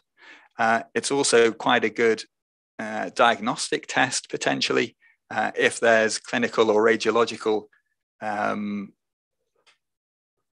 concern that we're, we're barking up the wrong tree because if you replace a lot of volume by doing an epidural blood patch, uh, it can displace CSF into a more appropriate location and relieve symptoms. So if you get a good clinical response to an epidural blood patch, even if transient, that can be another suggestion that patients genuinely have got an SIH syndrome. Um, the other thing that it comes in very useful for is, as Dan and Lalani have said, when patients come in uh, acutely, they often have uh, very extensive spinal uh, epidural collections. They can be uh, circumferential and cover the whole spine. And then if you're trying to localize that leak um, using a myelogram, then you really have to cover the entirety of the spine uh, to try and work out where the leak's coming from. Whereas what often happens is after a, an epidural blood patch, there will be adhesions formed uh, within the epidural space, and it will actually um, partly tamponade or partly localize uh, the CSF leak. So, you know, it may collect into the, the ventral thoracic spine if it's a ventral thoracic leak. So we can then, when we're doing our myelogram, do a do smaller coverage and reduce the dose and improve our field of view and our likelihood of uh, being able to identify exactly where uh, the leak is coming from. So epidural blood patch, not strictly speaking, uh, a neuroradiologically guided uh, procedure, certainly in our center, but very useful nonetheless most of uh, what I'm going to be talking about is the use of fibrin glue. Uh, this will probably be um, you know, pretty familiar to, to many surgeons out there who've done some spinal work in their training or in their normal practice. Um, you know, this is uh, you know, a sort of concentrated clotting factors with some uh, fibrin and thrombinogen in a double-barreled syringe. Uh, it's often used if you're doing an open procedure and there's a, a bit of a dural tear and uh, a CSF leak, you can just spray it onto the defect and hope it, it seals the, the leak. Um, most of my spinal colleagues uh, are not terribly impressed with how effective it is and usually a bit skeptical uh, when I suggest that it may be useful to, to inject it um, under, under CT guidance, although more and more they're, they're coming to realize that it can actually be quite useful. Um, it is not licensed for use in that way. Um, so your radiologist will probably have to go through a procedure to uh, create local guidelines and, and get a, a, a, local agreement from your hospital to use it in that way, or you may just have to consent patients uh, for the use of it as an, an off licensed uh, use. Um, we typically use Tisseel. Uh, other formulations are available. Some people prefer one called Artiss, which is the same thing but has a slightly lower fibrin concentration, so it's a bit more liquid and slower setting. Um, I can't really see any any great benefits of that. I think, as we'll see, we want this to, to form a nice blob of glue around the area of, uh, of the leak and having a more liquid uh, preparation that tends to uh, flow away from the area that we're interested in is probably not great. So Tisseel is, is what most radiologists uh, tend to use. The mechanism of action is not entirely clear, to be honest. Um, you know, we know how it works from a chemical point of view, uh, forming uh, fibrin at the, the site of action. Uh, but whether that is truly adhesive to, to the dura at the site of the leak, or whether it incites a slightly inflammatory reaction, or whether it simply stops the, the flow of CSF across the leak, allowing for healing to happen, whether it's a case in fistulae of extrinsic compression, or whether it's blocking uh, the veins internally, probably a combination of all of the above. Um, we're not entirely sure. So what do we actually do? um, most neuroradiologists, most radiologists are pretty well versed in using image guidance to stick needles into patients. And the technique for treating uh, CSF leak is, is no different from that point of view. Um, most people use CT guidance to do it. Uh, occasionally, people dis- uh, have described using uh, digital subtraction myelography or uh, fluoroscopy uh, to perform it, although um, you, you probably lose a bit of the uh, detail of the nice axial images that you get using CT if you do it under fluoro. Um, so the first thing you need to do, as described ably by my colleagues, is confirm where the site of the leak is. Uh, and then we need to see if we can get the, the needle to the site of the leak. And we can do that on uh, the myelography CT. Uh, once the needle is in position, we confirm uh, that the needle tip is not uh, within the theca. We don't really want to inject all our glue intrathecally if we can help it. Um, so we can either use a bit of air, as in this case, to give negative contrast. You see this uh, black area is air extrathecally, or we can inject a little bit of uh, omnipaque contrast uh, to confirm again that this is sitting outside the theca, um, but in the foramen where the leak is. Typically, we will then inject a bit of local anesthesia uh, because when you're putting in somewhere between two and six mils of fibrin glue into a relatively constrained space around a spinal nerve, typically, it can be quite uncomfortable for the patient. Um, we normally do these with the patient awake, uh, not GA, not sedation, They've often just had a myelogram, so they've been on the, the CT table for maybe half an hour, 40 minutes. Um, so you want to keep them fairly comfortable. Uh, patients generally tolerate this procedure extremely well. Uh, we just use a bit of local anesthesia to the skin, position the needle, put a bit of local anesthetic around the nerve root, and then inject somewhere between two to maybe up to six mils of uh, fibrin glue uh, around the site of the leak, uh, having opacified the fibrin glue with a little bit of contrast so we can see where it's gone uh, on a, a follow-up CT. Uh, occasionally, we can use a, a, bit of autologous blood before or after, uh, particularly if we're doing a, a, ventral leak and we've got a large uh, epidural fluid collection that we want to displace some of the CSF away and just um, put something that's uh, a bit adhesive within that collection to try and um, obliterate a large uh, epidural collection, as well as putting a bit of fibrin glue just adjacent to where we know the leak site is. So just a couple of cases. This is the, the first case I ever used fibrin glue on back in about 2013. This was a young female patient who presented acutely uh, with all the clinical and radiological features of SIH. And on myelogram, we can see she had uh, a lateral nerve root sleeve leak uh, in the thoracic spine.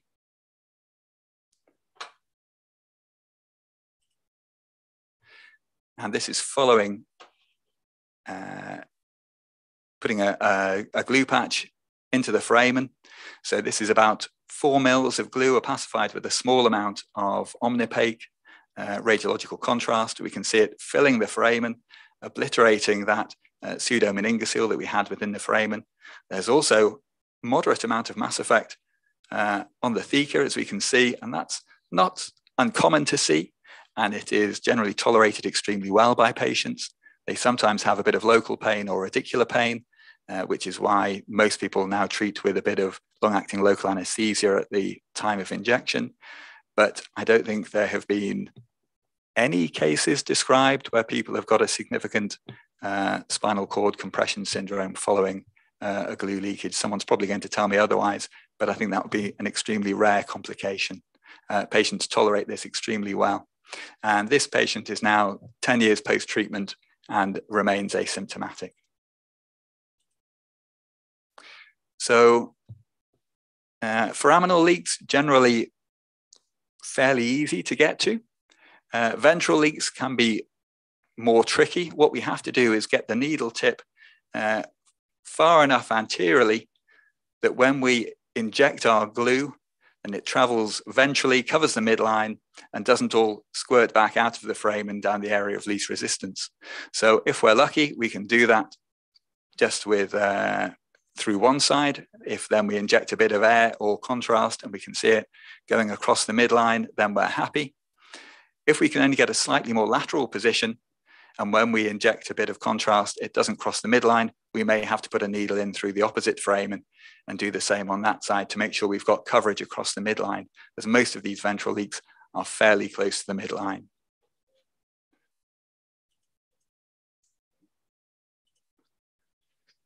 And so following that, then we've got some opacified glue, again, crossing the midline, ventral uh, to the theca, as in this case here.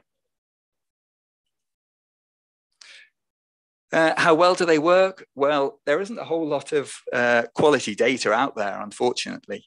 Um, what data there is, uh, both anecdotal and published sort of case series, is that it's it's seems to be pretty good. Um, as I say, we've certainly got cases um, that 10 years down the line uh, remain asymptomatic, even though the fibrin glue is only going to be in situ for you know, a few weeks maximum. Um, it's certainly a very quick, easy, and well tolerated procedure to do. As Lalani said, we can quite often get the patient in, do a myelogram, work out where the leak's coming from, and put some fibrin glue adjacent to that leak and hopefully treat them in one sitting. Um, this can be done as a day case. Occasionally, we keep people in overnight. Um, uh, depending on um, you know, availability of beds. Occasionally, people get a, a rebound headache or rebound hypertension kind of syndrome um, if you do seal a leak effectively due to recalibration of CSF pressure. You know, once they've stopped leaking CSF in an uncontrolled fashion, they're still producing CSF, and the changes in pressure can give them, you know, the sort of opposite uh, headache, a more typical high pressure sounding headache, uh, worse when they lie down, better when they stand up.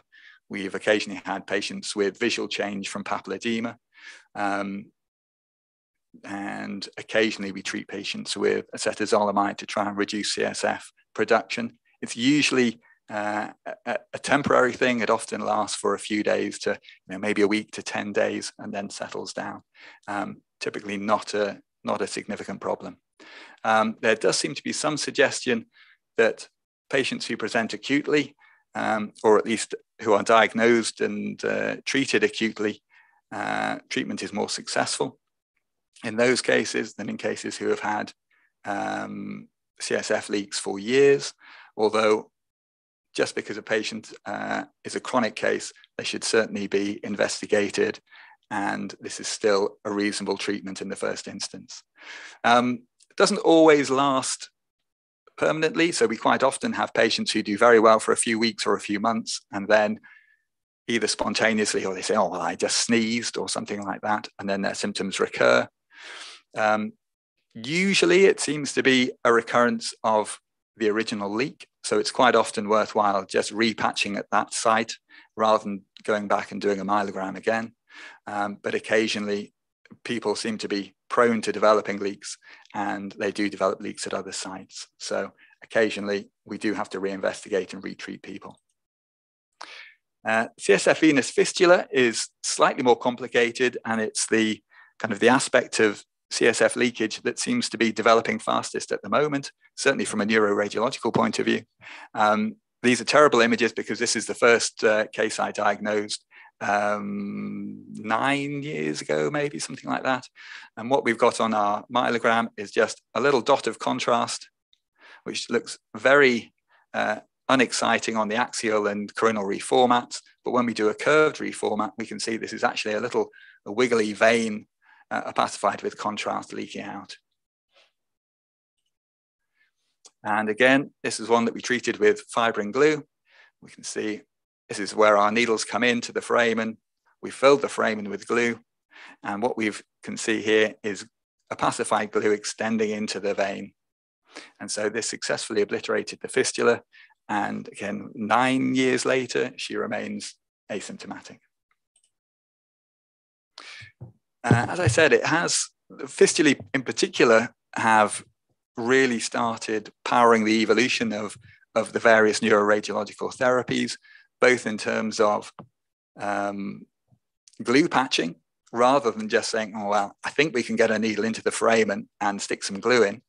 Um, now we tend to use larger caliber needles with the 22 gauge spinal needles, which are everybody's go-to. They tend to clog up the minute you stop actively injecting, so you can't reposition the needle or start injecting in different locations or start and stop your injection depending on patient symptomatology.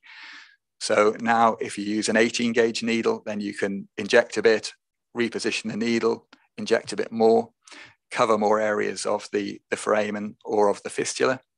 Um, you may use more than one needle to target different areas, uh, particularly if you've got an extensive venous drainage. Um, and then you can target those areas specifically. Uh, certainly with fistulas, there seems to be evidence that demonstrating glue in the draining vein is associated with a, a better chance of a, a permanent response uh, than just extrinsic compression with no glue in the vein. Uh, and also now recently described is uh, transvenous embolization of fistulae, so akin to treating uh, a brain AVM, um, putting a, uh, a vascular catheter in via usually the femoral artery, getting it all the way up through azygos vein into the segmental vein of the spine, uh, and then using one of the uh, intravascular glues to try and block the fistula. Um, so we'll talk about that in a sec. This is just a, a, few more cases of sort of more advanced glue patching of fistulae. So thanks to Lalani for letting me use these, these pictures. Here we can see this complex fistula with opacified veins extending uh, within the foramen and paraforaminal. We've got a needle coming in laterally into the foramen, targeting where the fistula is arising from. And we can see post glue, we've got glue within the foramen here.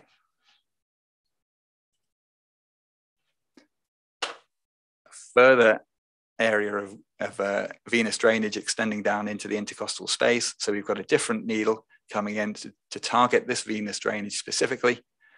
with glue extending here and also extending into the vein here. So we can see that specific targeting of specific areas of the fistula. And again, we've got a large fistula here with a big segmental draining vein. Here we've got a needle coming in targeting the fistula site adjacent to this little bleb. And then we've got another slightly deeper uh, needle coming in to put glue adjacent to the large draining vein to compress that, to slow flow, to allow this area to totally compress this uh, fistula and uh, allow it to heal. So talking about the uh, transvenous route, uh, this is something that in, in Newcastle, I think we're slightly behind the curve. We've only recently um, got the go ahead to start doing this as a procedure, and we haven't actually done any cases yet. Um, so this is something that the vascular interventional neuroradiologists will do. Um, it uses the intravascular liquid embolic agent. So this is not uh, fibrin glue. Uh, these are um, so-called glues that precipitate out of a, a, solvent of DMSO, which is quite toxic. Uh, patients don't really like it, but we're using very small volumes, uh, so they tend to tolerate it quite well. There's various sorts on the market, and they all do more or less the same thing. It gives you this so-called uh, lava appearance where uh, the liquid will solidify uh, from the outside first, so you end up with a, a cast uh, of uh, solidified uh, embolic agent, which with a, a, liquid core, which you can slowly squeeze and extend down the venous system towards the fistula uh, and into the fistula to obliterate it. Um, again, you have to know exactly where the fistula is. So this is a couple of cases uh, from the, the first paper that described this from the Mayo Clinic.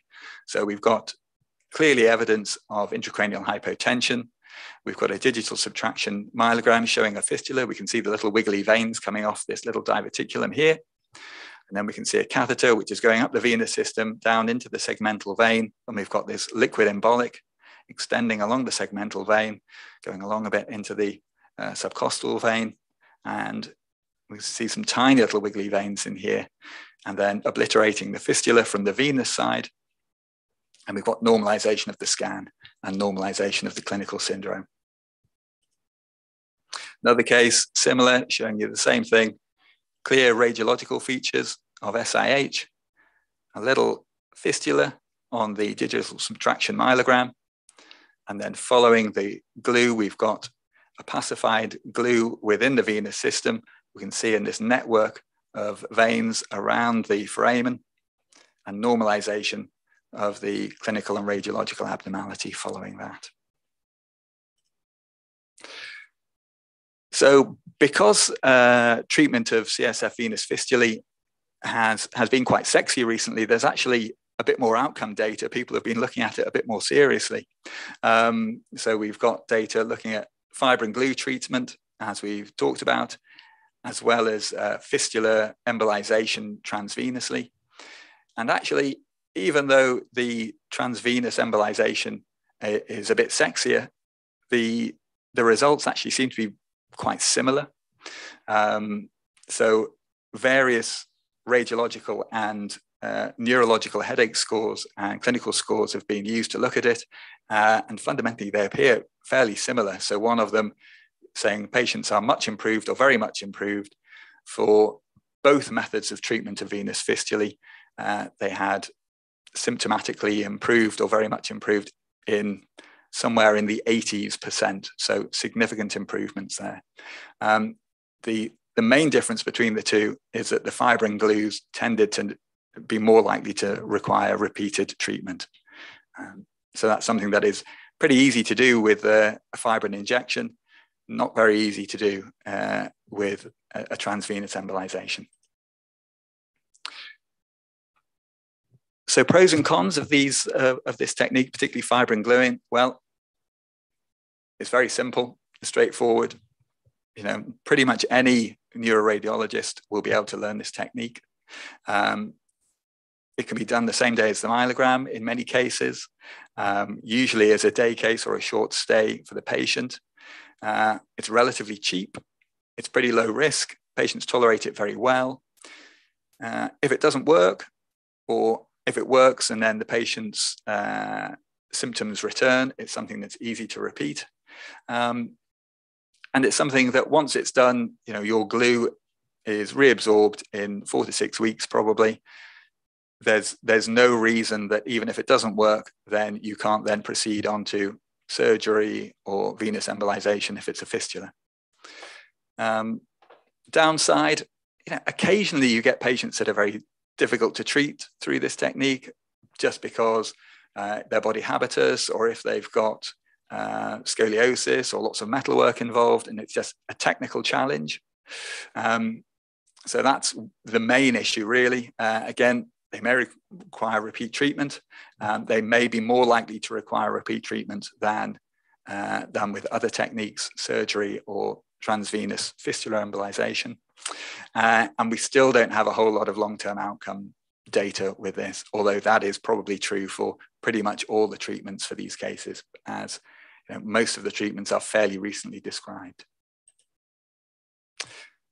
And if we've got a final five minutes, which I don't think we really have because we've uh, probably run over massively, I've got a couple of cases where you just applied the same technique to some iatrogenic CSF leaks as well. So this is just more in the vein of can your neuroradiologist help you? So again, we've got uh, a patient who had a neurofibroma in the cervical spine, had that taken out, but they were left with a bit of a CSF leak. Uh, obviously, we don't need to do a, a myelogram in this case. Uh, we know where the leak is. What we need to do is get the glue uh, into the site of the leak. So we've popped our needle down uh, into that expanded foramen and put a couple of mils of glue in, uh, again, opacified with a little bit of um, Omnipaque, and we can see it filling the foramen and extending slightly back into that uh, pseudomeningocele that the patient had. We don't really want to just try and fill the entire pseudomeningocele. We want to target the actual site of the leak, and then we can uh, seal the leak with the glue and uh, the patient's uh, pseudomeningocele can be drained. Again, radiologically, you can just withdraw the needle a bit, drain the uh, pseudomeningocele on the way out, and it uh, fortuitously didn't recur in this case.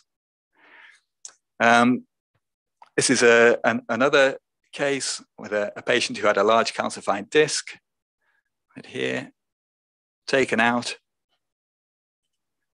But unfortunately, following surgery, they ended up uh, with a, a, persistent leak.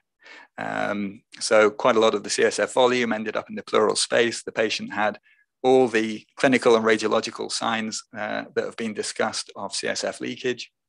So rather than having another operation to try and get in there and repair it, uh, we just popped a needle in and put a slightly larger than usual volume of fibrin glue uh, into the cavity and follow up uh, a month or so later, we can see there was clinical improvement and we can see the radiological improvement uh, with you know, basically normal post-surgical appearances now, no ongoing leak. Uh, this one was a bit trickier from a radiological point of view. So this was a young lad who had um, scoliosis surgery and following that ended up with um, a sort of low pressure syndrome we can see you're not going to get great imaging of any sort with that metalwork in there, uh, but we can see some of the features of his low pressure even on his spinal scan. We can see this very dilated uh, transverse sinus that we've got up there. There's a suggestion here that you can see this double line, which is actually uh, the dura being elevated by the CSF epidural collection anteriorly. Again, we didn't want to uh, overly irradiate this young lad who was only about 14. So we just had a chat with the surgeon who said, well, I'm pretty sure I know where the leak will be. Um, it's where I did one of the osteotomies. I think I might have gone a bit deep. So we just targeted uh, that level and put a reasonable volume of glue uh, into the dorsal epidural space. And we can see this is the site of the leak. And there's a little bit of glue just depending uh, into the uh, theca. He didn't have uh, any problems related to that, uh, but his CSF leak uh, did resolve, and he, he's back doing normal 14 year old boy stuff now. Um, this is one of the few cases where we did have to do a myelogram. So this was a patient who'd had uh, surgery for uh, synovial cyst and neural compression, uh, but then he got repeated cauda equina compression uh, secondary to fluid collection in the surgical site. Uh, so we ended up having five redo ops. Um, every time they did maneuvers to see if they could see if it was a CSF leak or not, or was this just the most rapidly growing seroma that anyone had ever seen? In the end, people were pretty convinced it must be a CSF leak, so we did a myelogram and did demonstrate a little tiny leak. So we put some glue in, and again, he was uh, asymptomatic from you know, 24 hours after treatment and went home thereafter. Uh, finally, you know, these, these are all the same sort of cases. So hemangiopericytoma taken out, uh, patient represented with cord compression, which turned out secondary to uh, a large subcutaneous and epidural CSF collection.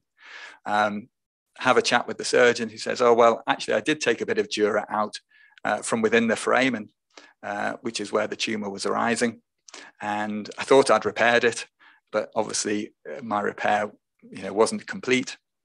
So we managed to get a needle down into the foramen. We didn't want to try and fill this entire uh, pseudomeningocele with glue, but once we knew where the leak was coming from, we could just fill that uh, T5 foramen with glue. See, there's a little bit extending over the posterior aspect of the theca, and again, sealed the leak, and the patient was asymptomatic and didn't require further surgery to try and uh, uh, seal that leak. So, takeaways. Um,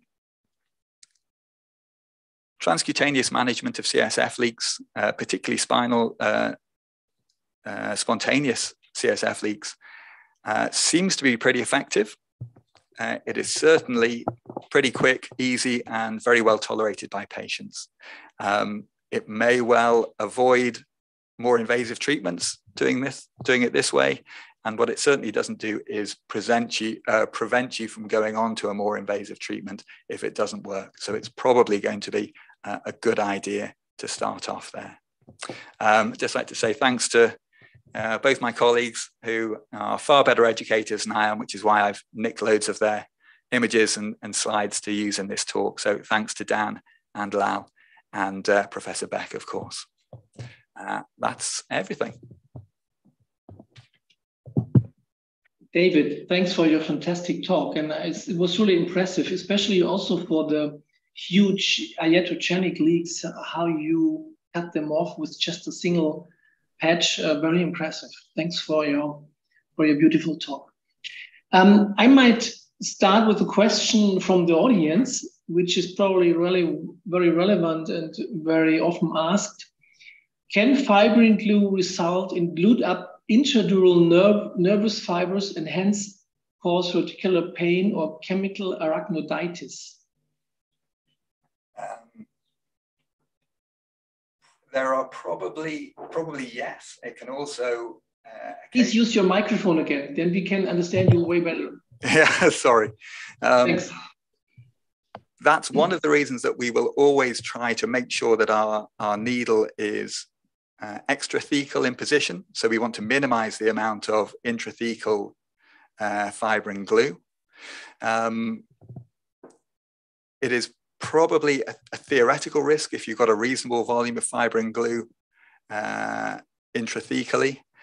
Certainly, it's not something that we've ever seen in our practice, and I don't think there have been, to my knowledge, I'm not sure that there are any cases described um, I think you, you certainly don't want to, you know, inject your full four or six mils of fibrin glue intrathecally.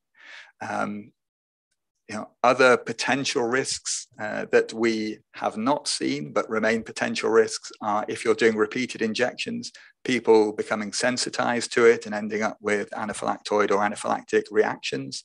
I think that has been described. Um, so there are these potentially very small but potentially severe risks. Um, that it's it's worth mentioning to patients, but it's certainly nothing that we see um, on a you know even on a, a, rare basis. So I think as long as you are um, as long as your technique is appropriate, that should not be a significant risk. No. Okay, a clear answer.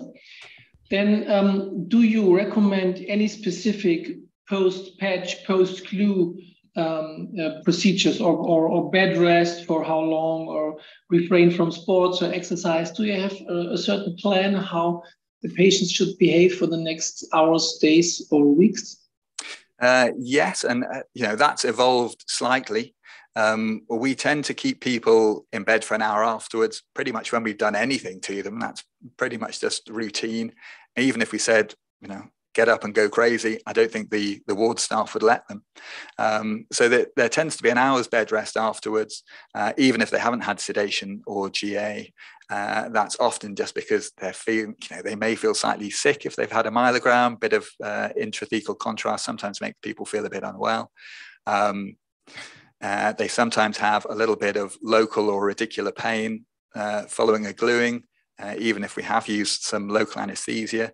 Uh, so we normally keep them around for about an hour just to make sure they feel okay from that point of view. Um, from the point of view of how to ideally try and sort of keep the patch in place, keep it stuck, um, we will say for ideally six weeks following the procedure uh, to try and minimize uh, anything that is really going to either stress the, the patch by raising your uh, ICP, raising your CSF pressure. So, you know, no straining, no lifting heavy things, ideally for six weeks, and to avoid doing anything that involves lots of um, flexion or twisting or you know, any sort of significant mobilization uh, of the of the spine, particularly the area of the spine that you've treated.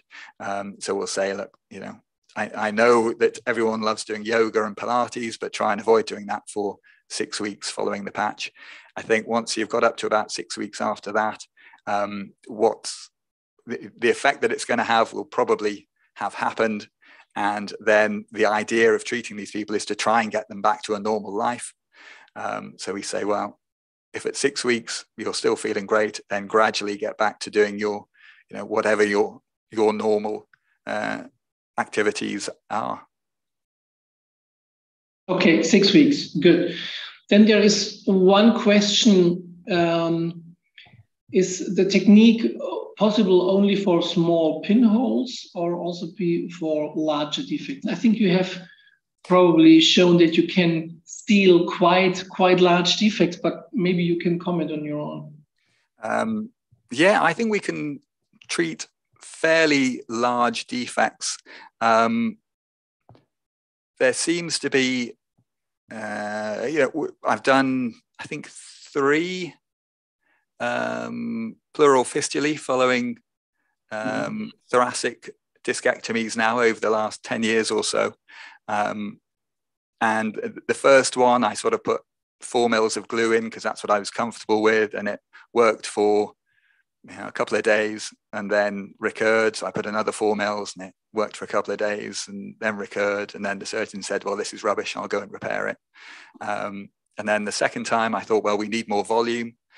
Uh, I was still a bit worried about putting 10 mils of glue in. That's quite a big blob, it felt like. So I put in 10 mils of autologous blood and followed it up with uh, some glue. Uh, and that worked a bit better. Um, but it's quite a faff. So the next time I just went straight for 10 mils of glue, uh, filled the whole cavity, and that did the trick. So I think, you know, yes, you can treat larger leaks. Um, you have to be able, you probably need to use larger volumes, you know, if only just to cover the extent of the leak. Um, you probably need to titrate it slightly to the size of uh, the CSF collection so that there's not too much of a dilution effect. Um, so you may have to, if there's a large pseudomeningocele, aspirate that first to collapse it so that you can then put a, you know, uh, a larger but still reasonable volume of glue in, say, you know, 10 mils rather than four mils or something like that. Okay, I think, thanks. I think also there is one... Just, hmm? Go ahead. I was just going to add. A, I was just going to add a comment on that. That um, um, regardless of the size of the defect, probably what David is, uh, uh would probably echo is this is also the acuity. And I think you would probably agree with that too, Jürgen. You know, I think if you've got an acute leak, it's it's more remember that you know fibrin is trying to just act as a, I guess as a sort of crosshatch for you to, for, for um, more natural sealant mechanisms to work, and that's why we're saying with more chronic leaks, you probably do really need to be inside the slack if you're going to be in it, and even then, um, you know, I think it really does depend. You, you're probably more likely to be successful with acute leaks, regardless of the size of the defect. Um, yeah, yeah, but um, I think there's one comment uh, just to, to finish or to complete the questions from the audience. Um, Foroughi um, gives a comment that Tisseel may be used inside the dura and even inside the ventricle or during brain surgery. Um, this might be true, of course, and sometimes we use it in sinus surgery or in, in brain surgery, but still we are very humble and very careful not to, to use glue inside the dura in spinal surgery, not to fix the, the, the spinal cord to the dura. So um, in recent um, cases, I'm, I'm refraining from using glue and uh, just using using um, Tachosil to, to sandwich patch. So of course we can use it and you've shown nice results, but we are not aware of long-term results. So do it, but be careful and document it and follow your patients, of course, as always. Then um, one more comment or one more question. Um, would you please comment, uh, this goes to me, would you please comment on how often do we need an exploration? How often do we need a surgery in, uh, in my department? I have never seen one till now. In all suspected cases, we only, we would do a blood patch. Do we have any statistics? we do have a kind of a statistics, but this is of course very biased by referral bias. So I think overall, looking at the literature, probably every fifth patient would need uh, a surgery. And in, in our department, I think half of the patients that come to, to my department need surgery, which is currently probably two to five cases a week that we close um, surgical.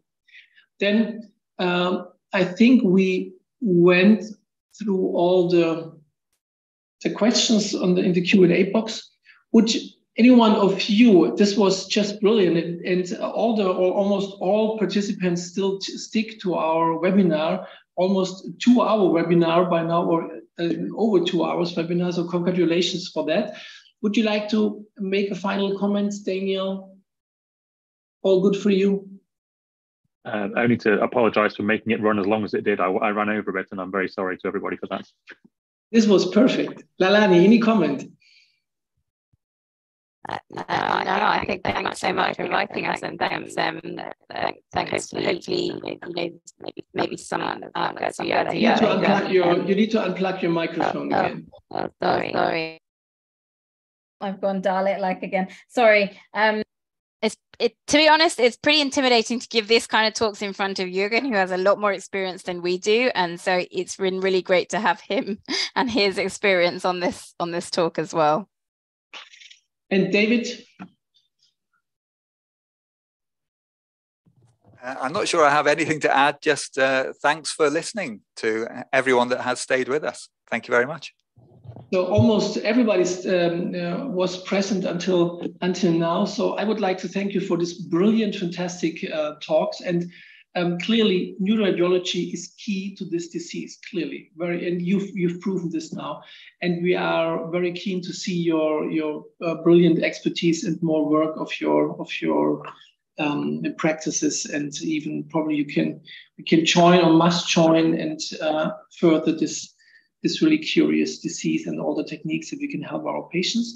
And last but not least, I need to, uh, I would like to thank Mansoor, Mansoor Foroughi and the EANS CSF section.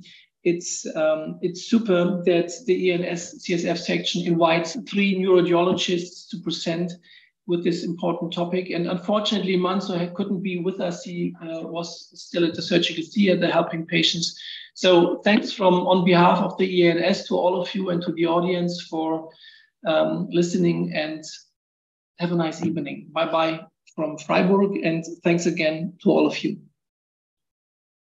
Thanks so much. Goodbye from Cambridge. Have a good evening. Bye, everyone. Thank you. Thanks. Thanks. Bye bye.